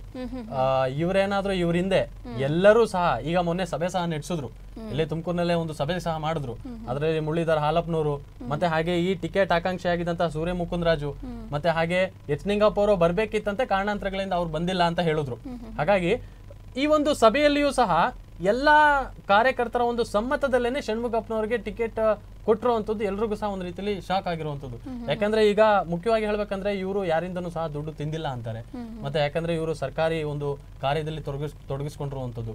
ಮತ್ತೆ ಹಾಗೆ ಇನ್ನೊಂದು ಹೇಳ್ಬೇಕಂದ್ರೆ ಇವರು ರಾಜಕೀಯದಲ್ಲೂ ಸಹ ಒಂದು ರೀತಿಯಲ್ಲಿ ಪಳಗಿಲ್ಲ. ಸ್ವಲ್ಪ ಅನುಭವ ಕಮ್ಮಿ. ಹಾಗಾಗಿ ಈ ಬಾರಿ ಪೈಪೋಟಿ ಗ್ರಾಮಾಂತರದಲ್ಲಿ ಯಾರಿಗಿದೆ ಅಂದ್ರೆ ಈ ಕಡೆ ಜೆ ಡಿ ಎಸ್ಗೂ ಇದೆ ಮತ್ತೆ ಹಾಗೆ ಸುರೇಶ್ ಗೌಡ್ರಿಗೂ ಸಹ ಬೆಂಬಲ ಇರುವಂತದ್ದು ಇವರಿಬ್ಬರ ನಡುವೆ ಇವರೇನಾದ್ರೂ ಸ್ವಲ್ಪ ಚಾಣಚಕ್ಯತೆಯಿಂದ ಏನಾದ್ರೂ ಸ್ವಲ್ಪ ಬುದ್ಧಿ ಹೆಚ್ಚಿನದಾಗಿ ಉಪಯೋಗಿಸಿದ್ರೆ ತ್ರಿಕೋನ ಸ್ಪರ್ಧೆ ಏರ್ಪಡುತ್ತೆ. ನೀವಾಗ್ಲೇ ಕೂಡ ಹೇಳಿದ್ರಿ. ಸೊ ನಿಖಿಲ್ ಕುಮಾರಸ್ವಾಮಿ ಅವ್ರನ್ನ ಕರೆಸಿದ್ರು ಸಮಾವೇಶವನ್ನ ಮಾಡಿದ್ರು ಜೆ ಡಿ ಎಸ್ ಪಕ್ಷದವರು ಹಾಗೆ ಸುರೇಶ್ ಗೌಡ್ರು ಕೂಡ ಶೋಭಾ ಕರಂದ್ಲಾಜೆ ಅವ್ರನ್ನ ಕರೆಸಿದ್ರು ಸಮಾವೇಶ ಮಾಡಿದ್ರು ಎಲ್ಲದನ್ನ ಕೂಡ ಮಾಡಿದ್ರು. ಈಗ ಕಾಂಗ್ರೆಸ್ ಪಕ್ಷದವರು ಏನಾದ್ರು ಕಾಂಗ್ರೆಸ್ನ ಪ್ರಬಲ ನಾಯಕರು ಮುಖಂಡರು ಅಂತ ಯಾರಿದ್ದಾರೆ ಸೊ ಅವರನ್ನ ಕರೆಸಿ ಪ್ರಚಾರ ಮಾಡೋದ್ರಿಂದ ಕಾಂಗ್ರೆಸ್ ಪಕ್ಷ ತನ್ನ ಅಸ್ತಿತ್ವವನ್ನ ಸಾಧಿಸಬಹುದಾ? ಹೌದು. ಮುಖ್ಯವಾಗಿ ಹೇಳ್ಬೇಕಂದ್ರೆ ಈಗ ಗೌರಿ ಶಂಕರ್ ಅವ್ರದ್ದು ಈಗಾಗಲೇ ಹದಿನಾಲ್ಕು ಸಾವಿರ ಹದಿನಾರು ಸಾವಿರ ನಕಲಿ ಬಾಂಡ್ನ ಒಂದು ಎಲ್ಲಾ ಕಡೆ ಹಬ್ದ ಹಬ್ಬಿಸ ಹಬ್ದಾಡ್ತಿರುವಂಥದ್ದು ಹಾಗೆ ಸುರೇಶ್ ಗೌಡರ ಒಂದು ಸಹ ಏನಪ್ಪಾ ಈ ಒಂದು ರೋರಿಸಮ್ ಅಂತಾರಲ್ಲ ಯಾರಿಗೂ ಸಹ ಎದ್ರಕೊಳ್ದಲೆ ಒಂದ್ ರೀತಿಲಿ ಅಧಿಕಾರಿಗಳನ್ನೇ ಆ, ಅಧಿಕಾರಕ್ಕೆ ಹೋಗುವಂಥದ್ದು. ಯಾರು ಯಾರಿಗೂ ಎದುರ್ಕೊಳ್ದಲೆ ಒಂದು ರೀತಿಯಲ್ಲಿ ಗರ್ಜಿಸೋದು. ಯಾರಿಗೂ ಸಹ ಒಂದು ರೀತಿಯಲ್ಲಿ ಈ ಬಾರಿ ಯಾಕಂದ್ರೆ ಎರಡು ಬಾರಿ ಅವರು ಶಾಸಕರಾಗಿದ್ರು ಯಾವುದು ಸಹ ಭಯ ಇಲ್ಲ ಎಲ್ಲರನ್ನೂ ಸಹ ಜೋರಾಗಿ ಮಾತಾಡ್ಸಿದ್ರು. ಈ ಜೆ ಡಿ ಎಸ್ನ ಒಂದು ನಕಲಿ ಬಾಂಡು ಮತ್ತೆ ಹಾಗೆ ಈ ಸುರೇಶ್ ಗೌಡ್ರ ರೋರಿಸಮ್ ಈ ಎರಡನ್ನ ಇಟ್ಕೊಂಡು ಕಾಂಗ್ರೆಸ್ನವ್ರು ಏನಾದರೂ ಈಗ ಷಣ್ಮುಖಪ್ಪನವರು ಏನಾದರೂ ಉಪಯೋಗ ಒಂದು ರೀತಿಯಲ್ಲಿ ತಮ್ಮ ಬುದ್ಧಿವಂತಿಕೆಯಿಂದ ಇವೆರಡನ್ನ ಉಪಯೋಗಿಸ್ಕೊಂಡು ಅವ್ರು ಏನಾದರೂ ರಾಜಕೀಯದಲ್ಲಿ ಜೋರಾಗಿ ಎಲ್ಲಾದರೂ ಸಿದ್ದರಾಮಯ್ಯ ಇರ್ಬೋದು ಮತ್ತು ಇವ್ರನ್ನೆಲ್ಲ ಕರೆಸಿ ಒಂದು ರೀತಿಯಲ್ಲಿ ಸಭೆ ಮಾಡಿದ್ದೇ ಆದರೆ ಈ ಎರಡು ಮೈನಸ್ ಪಾಯಿಂಟ್ ಇವರಿಗೆ ಪ್ಲಸ್ ಪಾಯಿಂಟ್ ಆಗುತ್ತೆ. ಇದನ್ನ ಹೈಲೈಟ್ ಮಾಡಲಿಕ್ಕೆ ಅಲ್ಲಿ ಯಾರೂ ಇಲ್ಲ. ಈಗ ಒಂದು ಸುರೇಶ್ ಗೌಡ್ರು ಗೌರಿಶಂಕರ್ ಅವರು ಈ ಥರ ನಕಲಿ ಬಣ್ಣ ಅಂತ ಇವರು ಒಂದೇ ಹೇಳ್ತಾರೆ. ಇನ್ನು ಇಲ್ಲಿ ಗೌರಿಶಂಕರ್ ಅವರು ಇವ್ರದ್ದು ಈ ರೀತಿಯಾಗಿದೆ, ಹಲವಾರು ಪ್ರಕರಣಗಳಿದೆ, ದಂಧೆ ಹಬ್ಬಿಸ್ತಾರೆ ಈ ರೀತಿಯಾಗಿ ಅಂತ ಅವ್ರು ಹೇಳ್ತಾರೆ. ಇವರಿಬ್ರದ್ದು ಇಟ್ಕೊಂಡು ಇವ್ರು ಕಾಂಗ್ರೆಸ್ನವರು ಈ ಬಾರಿ ಏನಾದರೂ ತಮ್ಮ ಚಾಣಶಕ್ತಿಯನ್ನ ತೋರಿಸಿದ್ರೆ, ಬುದ್ಧಿವಂತಿಕೆನ ತೋರಿಸಿದ್ರೆ, ಈ ಬಾರಿ ಒಂದು ರೀತಿಯಲ್ಲಿ ಕಾಂಗ್ರೆಸ್ ನಿಜವಾಗ್ಲೂ ಪೈಪೋಟಿ ನೀಡಬಹುದು ಅನ್ನೋವಂಥ ಒಂದು ಅಭಿಪ್ರಾಯ ಓಕೆ, ಈಗ ಕಾಂಗ್ರೆಸ್ ಹೈಕಮಾಂಡ್ ಏನ್ ಮಾಡಿದ್ಯಪ್ಪ ಅಂದ್ರೆ ಹೇ ಯಾರನ್ನ ಹಾಕಿದ್ರು ಕೂಡ ಈ ಒಂದು ಭಾಗದಲ್ಲಿ ಗೆಲ್ಲು, ಗೆಲುವು ನಮಗೆ ಸಿಗೋದಿಲ್ಲ. ಸೊ ನಾವು ನಮಗೆ ಸೋಲು ಶತಸಿದ್ಧ ಅಂತ ಅನ್ಕೊಂಡು ಸೊ ಈ ಒಂದು ಭಾಗದಲ್ಲಿ ಏನಾದರೂ ಡಮ್ಮಿ ಕ್ಯಾಂಡಿಡೇಟ್ ಯಾರನ್ನ ಹಾಕಿದ್ರೂ ಕೂಡ ನಾವು ಸೋಲೋದು ಖಂಡಿತ ಅಂತ ಆ ಕಾಂಗ್ರೆಸ್ ಪಕ್ಷ ಮೈಂಡಲ್ಲಿ ಫಿಕ್ಸ್ ಮಾಡ್ಕೊಂಡ್ಬಿಟ್ಟಿದ್ಯಾ ಅಂತ. ಷಣ್ಮುಖಪ್ಪ ಅವ್ರಿಗೆ ಕೊಟ್ಟಿದ್ಯಾ ಅಂತ. ಹೌದು. ಫಿಕ್ಸ್ ಮಾಡ್ಕೊಂಡಿದೆ ಅನ್ನೋದಕ್ಕಿನ್ನ ಈ ಬಾರಿ ಇನ್ನೊಂದೇನಪ್ಪ ಅಂದ್ರೆ ರಾಜ್ಯಾದ್ಯಂತ ಒಂದು ರೀತಿಲಿ ಈ ಬಾರಿ ಆ, ಸಮೀಕ್ಷೆಗಳ ಕೂಡ ಇಡೀ ನಮ್ಮ ರಾಜ್ಯಾದ್ಯಂತ ಒಂದು ಸಮೀಕ್ಷೆ ನೋಡಿದ್ರು ಸಹ ಈ ಬಾರಿ ಬಹಳಷ್ಟು ಪೈಪೋಟಿ ಇರುವಂಥದ್ದು ಕಾಂಗ್ರೆಸ್ ಮತ್ತೆ ಬಿಜೆಪಿ. ಹಾಗಾಗಿ ಈ ಬಾರಿ ಕ್ಯಾಂಡಿಡೇಟ್ ಒಂದು ಸೆಲೆಕ್ಷನ್ ಅಲ್ಲೂ ಅಷ್ಟೇ ಹೈಕಮಾಂಡ್ಗಳು ಎಲ್ಲ ಪಕ್ಷದ ಹೈಕಮಾಂಡ್ಗಳು ಬಹಳಷ್ಟು ಬುದ್ಧಿವಂತಿಕೆಯನ್ನು ಉಪಯೋಗಿಸ್ತಿದೆ. ಒಂದ್ ರೀತಿಲಿ ಈ ಬಾರಿ ಸೂರ್ಯ ಮುಕುಂದರಾಜ್ ಇರ್ಬೋದು, ಎಚ್ ನಿಂಗಪ್ಪ ಇರ್ಬೋದು, ಇವ್ರಿಗೆ ಟಿಕೆಟ್ ಕೊಡೋ ಬದಲು ಒಬ್ಬ ಸಾಮಾನ್ಯ ಕಾರ್ಯಕರ್ತ ತಳ ಸಮುದಾಯನಿಗೆ ಕೊಟ್ಟರೆ ಒಂದು ರೀತಿಯಲ್ಲಿ ಈ ಬಾರಿ ಏನಾದರೂ ಪ್ಲಸ್ ಪಾಯಿಂಟ್ ಬರ್ಬೋದು ಅನ್ನುವಂತಾಗಿ ಈ ಬಾರಿ ಟಿಕೆಟ್ ಕೊಟ್ಟಿರಿದೆ. ಮತ್ತು ಅದೇ ರೀತಿಯಾಗಿ ಇವರೇನಾದರೂ ಈ ಒಂದು ಕಾರ್ಯನಿರ್ವಹಿಸಲಿಕ್ಕೆ ಇನ್ನೇನು ಶುರು ಮಾಡಿದ್ರೆ ನಿಜವಾಗ್ಲೂ ಎಲ್ಲರಿಗೂ ಸಹ ಒಂದು ರೀತಿಯಲ್ಲಿ ಕಾಂಗ್ರೆಸ್ ಮತ್ತೊಮ್ಮೆ ಅಲ್ಲಿ ತನ್ನ ಚಾಪನ ಮೂಡಿಸ್ಬೋದು. ಪ್ರಥಮ ಬಾರಿ ತುಮಕೂರು ಗ್ರಾಮಾಂತರದಲ್ಲಿ ಕಾಂಗ್ರೆಸ್ ಬಹಳಷ್ಟು ಪೈಪೋಟಿ ನೀಡುತ್ತೆ ಅನ್ನೋದನ್ನು ಸಹ ಪ್ರತ್ಯಕ್ಷ ಸಾಕ್ಷ್ಯವಾಗಿ ತೋರಿಸ್ಬೋದು. ಓಕೆ, ಈಗ ಅಬ್ಬರದ ಪ್ರಚಾರವನ್ನ ಕೂಡ ಶುರು ಮಾಡ್ಕೊಂಡಿದ್ದಾರೆ. ಬಿಜೆಪಿ ಪಕ್ಷದ ಅಭ್ಯರ್ಥಿಯಾಗಿ ಕಾಂಗ್ರೆಸ್ ಜೆ ಡಿ ಎಸ್ ಪಕ್ಷದ ಅಭ್ಯರ್ಥಿ ತುಮಕೂರು ಗ್ರಾಮಾಂತರದಲ್ಲಿ. ಸೊ ಈಗ ಈ ನಾಮಪತ್ರ ಸಲ್ಲಿಸ್ತಕ್ಕಂಥ ಕೊನೆ ಗಳಿಗೆಯಲ್ಲಿ ಎಲ್ಲೋ ಒಂದು ಕಡೆ ಕಾಂಗ್ರೆಸ್ ಪಕ್ಷ ತನ್ನ ತುಮಕೂರು ಗ್ರಾಮಾಂತರದ ಅಭ್ಯರ್ಥಿಯನ್ನ ಘೋಷಣೆ ಮಾಡಿರ್ತಕ್ಕಂಥದ್ದು ಎಷ್ಟು ಮಟ್ಟಿಗೆ ಅದು ಸರಿ ಅನಿಸುತ್ತೆ. ಸೊ ಈಗಾಗಲೇ ಪ್ರಚಾರ ಶುರು ಮಾಡ್ಕೊಂಡಿದ್ದಾರೆ. ಸೊ ಇವರು ಆ ಒಂದು ಭಾಗದಲ್ಲಿ ಎಷ್ಟು ಮಟ್ಟಿಗೆ ಪ್ರಚಾರ ಮಾಡಬೇಕು, ಇದು ಎಷ್ಟು ಮಟ್ಟಿಗೆ ಸರಿ ಅನಿಸುತ್ತೆ? ಅದೇ ಹೇಳೋದು, ಯಾಕೆ ಈ ರೀತಿಯಾಗಿ ಕಾಂಗ್ರೆಸ್ ತುಮಕೂರು ಗ್ರಾಮಾಂತರದಲ್ಲಿ ಇಷ್ಟು ನೆಗ್ಲೆಕ್ಟ್ ಮಾಡ್ತಿದ್ದೆ ಅನ್ನೋದು ಇದುವರೆಗೂ ಸಹ ಯಾರಿಗೂ ಉತ್ತರ ಸಿಕ್ಕಿಲ್ಲ. ಯಾಕಂದ್ರೆ ಈ ಬಾರಿ ಈ ಸುರೇಶ್ ಗೌಡ್ರು ಮತ್ತೆ ಗೌರಿಶಂಕರ್ ನಡುವೆ ಈ ಪೈಪೋಟಿ ನಡೆಸ್ಬೇಕಂದ್ರೆ ಅಲ್ಲೊಬ್ಬ ಪ್ರಬಲ ಅಭ್ಯರ್ಥಿ ಅವಶ್ಯಕತೆ ಇತ್ತು. ಖಂಡಿತವಾಗಿಯೂ ಇತ್ತು. ಯಾಕಂದ್ರೆ ಕಳೆದ ಮೂರು ಬಾರಿಯೂ ಸಹ ಯಾರು ಸಹ ಪ್ರಬಲ ಅಭ್ಯರ್ಥಿ ಕೊಟ್ಟಿಲ್ಲ ಅಂದಾದ್ರೆ ಈ ಬಾರಿ ಮತ್ತಷ್ಟು ಯಾರೋ ಒಬ್ಬ ಪ್ರಬಲ ಅಭ್ಯರ್ಥಿನ ಒಂದಲ್ಲಿ ನಿಕಟವಾಗಿ ಹೈಕಮಾಂಡ್ ತೋರಿಸಿದ್ದೇ ಆಗಿದ್ದಿದ್ರೆ ಮತ್ತಷ್ಟು ಪೈಪೋಟಿ ಕೊಡ್ಬೋದಿತ್ತು. ಇವ್ರೇನ್ ಮಾಡಿದ್ದಾರೆ ಅಂದ್ರೆ ಈಗ ಸಮುದಾಯದ ಒಂದು ಇದು ನೋಡ್ಕೊಂಡು ಈ ಬಾರಿ ತಳ ಸಮುದಾಯರಿಗೆ ಕೊಟ್ಟಿರುವಂತದ್ದು ಮತ್ತೊಮ್ಮೆ ಇನ್ನೊಂದು ಹೇಳ್ಬೇಕಂದ್ರೆ ಆ, ಈಗ ಜೆ ಡಿ ಎಸ್ನಲ್ಲಿ ಹೇಳೋದಾದ್ರೆ ಗೌರಿಶಂಕರ್ ಅವರು ಸಹ ಇನ್ನೇನು ಈ ಒಂದು ಏನಪ್ಪಾ ಸುರೇಶ್ ಗೌಡರು ಕೇಸ್ ಹಾಕಿದಂತ ಒಂದು ಸಂದರ್ಭದಲ್ಲಿ ಈಗ ಇನ್ನೇನು ಅವರು ಸಹ ತಡೆಯಾಜ್ಞೆ ತಂದಿದ್ದಾರೆ. ಸುಪ್ರೀಂ ಅದು ಅಷ್ಟೇ ಇನ್ನೇನು ಒಂದು ತಿಂಗಳಲ್ಲಿ ಆದಷ್ಟು ಬೇಗ ಮೂವತ್ತು ದಿನಗಳಲ್ಲಿ ನೀವು ಮೇಲ್ಮನವಿ ಸಲ್ಲಿಸಬೇಕು. ಸುಪ್ರೀಂ ಕೋರ್ಟಿಂದ ಆರ್ಡರ್ ತಂದ್ರೆ ಮಾತ್ರ ನಿಮಗೆ ಅವಕಾಶ ಅಂತಾನು ಹೇಳಿದ್ದಾರೆ. ಒಂದ್ ರೀತಿಯಲ್ಲಿ ಇಲ್ಲೂ ಸಹ ಏರುಪೇರು ಆಗ್ಬೋದು. ಈಗಾಗಲೇ ಇನ್ನೇನು ಅವರ ಸಹೋದರ ಗೌರಿಶಂಕರ್ ಅವರ ಸಹೋದರ ಕೆ ಸಿ ವೇಣುಗೋಪಾಲ್ ಅವ್ರನ್ನೂ ಸಹ ಒಂದು ರೀತಿಯಲ್ಲಿ ಇನ್ನೇನು ಕಣಕ್ಕೆ ನಿಲ್ಲಿಸ್ಲಿಕ್ಕೆ ರೆಡಿ ಆಗಿದ್ದಾರೆ. ಒಂದ್ ರೀತಿಯಲ್ಲಿ ಇಲ್ಲಿ ಗೌರಿಶಂಕರ್ ಬದಲು ಇವರು ಬಂದಿದ್ದಾದ್ರೆ ಒಂದ್ ರೀತಿಯಲ್ಲಿ ಇಲ್ಲಿ ಕಾಂಗ್ರೆಸ್ ಕಾಂಗ್ರೆಸ್ಗೆ ಮತ್ತೆ ಪ್ಲಸ್ ಪಾಯಿಂಟ್ ಆಗ್ಬೋದಾ? ಎಲ್ಲರಿಗೂ ಒಂದ್ ರೀತಿಯಲ್ಲಿ ಸಂಶಯ ಇರುವಂತದ್ದೇ. ಪೈಪೋಟಿ ನೀಡ್ಲಿಕ್ಕೆ ಆದ್ರೆ ಗೌರಿಶಂಕರನ್ ಹಿಂದೆ ಸರಿಯಲ್ಲ ಅಂತಲ್ಲ. ಅವರು ಜೊತೆಲಿ ಇದ್ದೇ ಇರ್ತಾರೆ. ಖಂಡಿತ. ಸೊ ಕೊನೆಯದಾಗಿ ನೀವು ಹೇಳೋದಾದ್ರೆ ಕಾಂಗ್ರೆಸ್ ಅಭ್ಯರ್ಥಿಯಾಗಿ ತುಮಕೂರು ಗ್ರಾಮಾಂತರದಿಂದ ಷಣ್ಮುಖಪ್ಪ ಅವ್ರನ್ನ ಕಣಕ್ಕಿಳಿಸಿರೋದ್ರ ಬಗ್ಗೆ ನೀವು ಹೇಳೋದಾದ್ರೆ ಏನ್ ಹೇಳ್ತೀರಾ? ನಾವು ಹೇಳೋದಿಷ್ಟೇ. ಏನಪ್ಪಾ ಅಂದ್ರೆ ಈಗಾಗಲೇ ಷಣ್ಮುಖಪ್ಪನವರು ಸರ್ಕಾರಿ ಒಂದು ಕಚೇರಿಗಳಲ್ಲೂ ಸಹ ಹಲವ ಹಲವಾರು ವರ್ಷಗಳ ಕಾಲ ಕಾರ್ಯನಿರ್ವಹಿಸಿದ್ದಾರೆ. ಮತ್ತೆ ನಲವತ್ತು ವರ್ಷಗಳಿಂದಲೂ ಕಾಂಗ್ರೆಸ್ ಪಕ್ಷದಲ್ಲಿರುವಂತಹ ಒಂದು ಕುಟುಂಬದ ಹಿನ್ನೆಲೆಯಿಂದ ಬಂದವರು ಇವರು. ಹಾಗಾಗಿ ಈ ಬಾರಿ ಪ್ರಬಲ ಪೈಪೋಟಿ ಅವ್ರು ಒಡ್ಬೇಕಂದ್ರೆ ಇನ್ನೇನು ನಾಮಪತ್ರ ಸಲ್ಲಿಸಲಿಕ್ಕೂ ಸಹ ಇನ್ನೇನು ಇನ್ನೊಂದು ಮೂರ್ನಾಲ್ಕು ದಿನಗಳಷ್ಟೇ ಬಾಕಿ ಇರುವಂತದ್ದು ಈ ನಾಮಪತ್ರಿಕೆ ಸಲ್ಲಿಸಾದ ನಂತರವೂ ಸಹ ಒಂದು ರೀತಿಯಲ್ಲಿ ಪ್ರಬಲ ಪೈಪೋಟಿ ನೀಡಬೇಕಂದ್ರೆ ಸಿದ್ದರಾಮಯ್ಯನ ಇವರು ಕರ್ಸ್ಲೇಬೇಕಾಗುತ್ತೆ. D K ಶಿವಕುಮಾರ್ನ ಕರ್ಸ್ಲೇಬೇಕಾಗುತ್ತೆ. ಪ್ರಚಾರಕ್ಕೆ. ಪ್ರಚಾರಕ್ಕೆ ಬರಲೇಬೇಕಾಗತ್ತೆ. ಈ ಯಾರನ್ನಾದ್ರೂ ಕರೆಸಿ ಸಭೆ ಸಮಾರಂಭಗಳನ್ನ ಮಾಡಿದ್ದಾದ್ರಲ್ಲಿ ಮಾತ್ರ ಈ ಬಾರಿ ಜೆ ಡಿ ಎಸ್ ಮತ್ತೆ ಬಿಜೆಪಿ ನಡುವೆ ಒಂದು ಪ್ರಬಲ ಪೈಪೋಟಿ ಹೊಡ್ಲಿಕ್ಕೆ ಸಾಧ್ಯ. ಮತ್ತೆ ಹಾಗೆ ಆ, ಯಾಕಂದ್ರೆ ಎಚ್ ನಿಗಪ್ಪ ಷಣ್ಮುಖಪ್ಪನವ್ರಿಗೆ ಒಂದು ರೀತಿಯಲ್ಲಿ ಇಲ್ಲಿ ತುಮಕೂರಿಗೆಲ್ಲಿ ಎಲ್ಲ ಕಚೇರಿ ಸಿಬ್ಬಂದಿಗಳು ಗೊತ್ತಿದೆ ಚೆನ್ನಾಗಿ. ಮತ್ತೆ ಹಾಗೆ ಇವರು ಇನ್ನೇನು ಎಲ್ಲ ರಾಜಕೀಯ ವ್ಯಕ್ತಿಗಳನ್ನೂ ನೋಡಿರ್ತಾರೆ ಇಲ್ಲಿವರೆಗೂ. ಜೆ ಡಿ ಎಸ್ನವ್ರನ್ನು ಭೇಟಿ ಮಾಡಿರ್ತಾರೆ ಬಿಜೆಪಿ ಅವ್ರನ್ನೂ ಭೇಟಿ ಮಾಡಿರ್ತಾರೆ. ಕ್ಷೇತ್ರದ ಮತದಾರರ ಬೆಂಬಲ ಸಿಗಬಹುದಾ ಅವ್ರಿಗೆ? ಸಿಕ್ಕೇ ಸಿಗುತ್ತೆ. ಬೆಂಬಲ ಸಿಕ್ಕೇ ಸಿಗುತ್ತೆ. ಅದಕ್ಕೆ ಹೇಳ್ತಾ ಇರೋದು ಈ ಬಾರಿ ತಳ ಸಮುದಾಯದವರೊಬ್ರು ಕಾಂಗ್ರೆಸ್ ಟಿಕೆಟ್ ಸಿಕ್ಕಿದೆ ಅಂತದ್ರಲ್ಲಿ ಆ, ಏನಪ್ಪ ಕಾಂಗ್ರೆಸ್ ಹೈಕಮಾಂಡ್ ಲೀಡರ್ಸ್ ಎಲ್ಲ ಯಾರಿದ್ದಾರೆ? ನಾಯಕರೆಲ್ಲ ಯಾರಿದ್ದಾರೆ? ಅವ್ರನ್ನೆಲ್ಲ ಕರೆಸಿ ಒಂದು ಜೋರಾಗಿ ಏನಾದರೂ ಸಮಾವೇಶ ಮಾಡಿ ಸಮಾರಂಭಗಳನ್ನ ಮಾಡಿ ಪ್ರಚಾರಕ್ಕೆ ಅವರೇನಾದರೂ ನಿಂತರೆ ಖಂಡಿತವಾಗಿಯೂ ಈ ಬಾರಿ ಪ್ರಬಲ ಪೈಪೋಟಿ ಒಡ್ಡಾಡುತ್ತೆ. ಗ್ರಾಮಾಂತರದಲ್ಲಿ ತ್ರಿಕೋನ ಸ್ಪರ್ಧೆ ಏರ್ಪಡಿಸಲಿಕ್ಕೆ ಯಾವುದೇ ರೀತಿ ಡೌಟ್ ಇಲ್ಲ. ಆದರೆ ಷಣ್ಮುಖಪ್ಪನವರು ಬಹಳಷ್ಟು ಚಾಣಾಕ್ಷತೆಯಿಂದ ಈ ಬಾರಿ ಕಾರ್ಯನಿರ್ವಹಿಸಬೇಕಾಗುತ್ತೆ. ಇದಕ್ಕೆ ಮುಖ್ಯವಾಗಿ ಅವರ ಒಂದು ಕಾರ್ಯಕರ್ತರ ಬೆಂಬಲ ಮುಖ್ಯವಾಗಿ ಬೇಕಾಗಿರುವಂಥದ್ದು. ಇವರೆಲ್ಲರ ಒಂದು ಸಪೋರ್ಟ್ ಇದ್ರೆ ಖಂಡಿತವಾಗಿಯೂ ಈ ಬಾರಿ ಕಾಂಗ್ರೆಸ್ ಆ ಒಂದು ರೀತಿಯಲ್ಲಿ ಪ್ರಬಲ ಪೈಪೋಟಿ ನೀಡಬಹುದು ಅಂತ ಅಭಿಪ್ರಾಯ. ಓಕೆ ಎಸ್ ಇಷ್ಟೊತ್ತು ಕೂಡ ನಾವು ಕಾಂಗ್ರೆಸ್ ಮೂರನೇ ಪಟ್ಟಿ ರಿಲೀಸ್ ಆಗಿತ್ತು. ಅದರಲ್ಲಿ ತುಮಕೂರು ಗ್ರಾಮಾಂತರಕ್ಕೆ ಸಂಬಂಧಪಟ್ಟಂತೆ ಜಿ ಎಚ್ ಷಣ್ಮುಖ ಯಾದವ್ ಅವ್ರನ್ನ ಕಣಕ್ಕಿಳಿಸಿರ್ತಕ್ಕಂಥದ್ದು. ಸೊ ಖಂಡಿತವಾಗ್ಲೂ ನಾವು ನೀವು ಎಲ್ಲರೂ ಕೂಡ ಕಾದ್ ನೋಡಬೇಕಾಗುತ್ತೆ. ಎಸ್ ಇಷ್ಟೊತ್ತು ನಮ್ಮ ಜೊತೆ ಇದು ಮಾಹಿತಿಯನ್ನು ನೀಡಿದ್ದಕ್ಕಾಗಿ ಕಿರಣ್ ಧನ್ಯವಾದಗಳು. ಎಸ್ ವೀಕ್ಷಕರೇ, ನೋಡಿದ್ರಲ್ಲ ಸೊ ಖಂಡಿತವಾಗ್ಲೂ ತುಮಕೂರು ಗ್ರಾಮಾಂತರ ಕ್ಷೇತ್ರ ಆಗಿರಬಹುದು ಅಥವಾ ಯಾವುದೇ ಒಂದು ಕ್ಷೇತ್ರವನ್ನು ತಗೊಳ್ಳಿ, ನೀವು ಪ್ರಬಲವಾದಂತಹ ಪೈಪೋಟಿ ಖಂಡಿತವಾಗ್ಲೂ ಇದ್ದೇ ಇರುತ್ತೆ. ಆದರೂ ಕೂಡ ಎಲ್ಲೋ ಒಂದು ಕಡೆ ಸೊ ಸೊ ನಾವು ಫಸ್ಟ್ ಪಾರ್ಟಲ್ಲಿ ಕೂಡ ಮಾತನಾಡಿದ್ವಿ, ಗುಬ್ಬಿ ವಿಧಾನಸಭಾ ಕ್ಷೇತ್ರದಲ್ಲಿ ರಾಜಕೀಯ ಬೆಳವಣಿಗೆ ಹೇಗೆ ನಡೀತಾ ಇದೆ, ರಾಜಕೀಯ ಸ್ಥಿತಿಗತಿ ಹೇಗಾಗ್ತಾ ಇದೆ, ಇದರಿಂದ ಎಷ್ಟರ ಮಟ್ಟಿಗೆ ಪಕ್ಷಕ್ಕಾಗಲಿ ಅಥವಾ ಪಕ್ಷದ ಅಭ್ಯರ್ಥಿಗಾಗಲಿ ಪಾಸಿಟಿವ್ ನೆಗೆಟಿವ್ ಎಷ್ಟರ ಮಟ್ಟಿಗೆ ಇದೆ ಅಂತ ಇದೆಲ್ಲದನ್ನು ಕೂಡ ಮಾತನಾಡಿದ್ವಿ. ಹಾಗೆ ತುಮಕೂರು ಗ್ರಾಮಾಂತರ ವಿಧಾನಸಭಾ ಕ್ಷೇತ್ರಕ್ಕೆ ಸಂಬಂಧಪಟ್ಟಂತೆ ಜಿ ಎಚ್ ಷಣ್ಮುಖ ಯಾದವ್ ಅವರ ಹೆಸರು ಕೂಡ ಘೋಷಣೆಯಾಗಿರೋದು. ಎಲ್ಲ ಒಂದು ಕಡೆ ಕಾಂಗ್ರೆಸ್ ಈ ಒಂದು ಗ್ರಾಮಾಂತರದಲ್ಲಿ ತನ್ನ ಬಾವುಟವನ್ನು ಹಾರಿಸೋದಕ್ಕೆ ಎಷ್ಟು ಕಷ್ಟಪಡಬೇಕು ಗೊತ್ತೇ ಇದೆ. ಸೊ ಜೆ ಡಿ ಎಸ್ ಹಾಗೆ ಬಿ ಜೆ ಪಿಯಲ್ಲಿ ಟಫ್ ಫೈಟ್ ಇರ್ತಕ್ಕಂಥದ್ದು ಗೊತ್ತೇ ಇದೆ. ಸೊ ಹಾಗಾಗಿ ಕಾಂಗ್ರೆಸ್ ಎಷ್ಟರ ಮಟ್ಟಿಗೆ ತನ್ನ ಅಸ್ತಿತ್ವವನ್ನು ಅಲ್ಲಿ ಉಳಿಸ್ಕೊಳ್ಳುತ್ತೆ, ಇದೆಲ್ಲದನ್ನ ಕೂಡ ಚುನಾವಣೆ ನಡೆದು ಫಲಿತಾಂಶ ಬಂದ್ ಬರೋವರೆಗೂ ಕೂಡ ಕಾದು ನೋಡಬೇಕಾಗುತ್ತೆ. ಇಷ್ಟೊತ್ತವರೆಗೂ ನೋಡಿದ್ರೆ ಇದಿಷ್ಟು ಈ ಹೊತ್ತಿನ ಕಾರ್ಯಕ್ರಮದ ವಿಷಯ ಆಗಿತ್ತು ಅಂತ ತಿಳಿಸ್ತಾ ಮತ್ತೊಂದು ಚುನಾವಣಾ ವಿಷಯದೊಂದಿಗೆ ನಾನು ನಿಮ್ಮ ಮುಂದೆ ಬರ್ತೀನಿ. ಅಲ್ಲಿವರೆಗೂ ನೋಡ್ತಾ ಇರಿ ಪ್ರಗತಿ ಟಿವಿ. ಇದು ನಿಮ್ಮಿಂದ, ನಿಮಗಾಗಿ.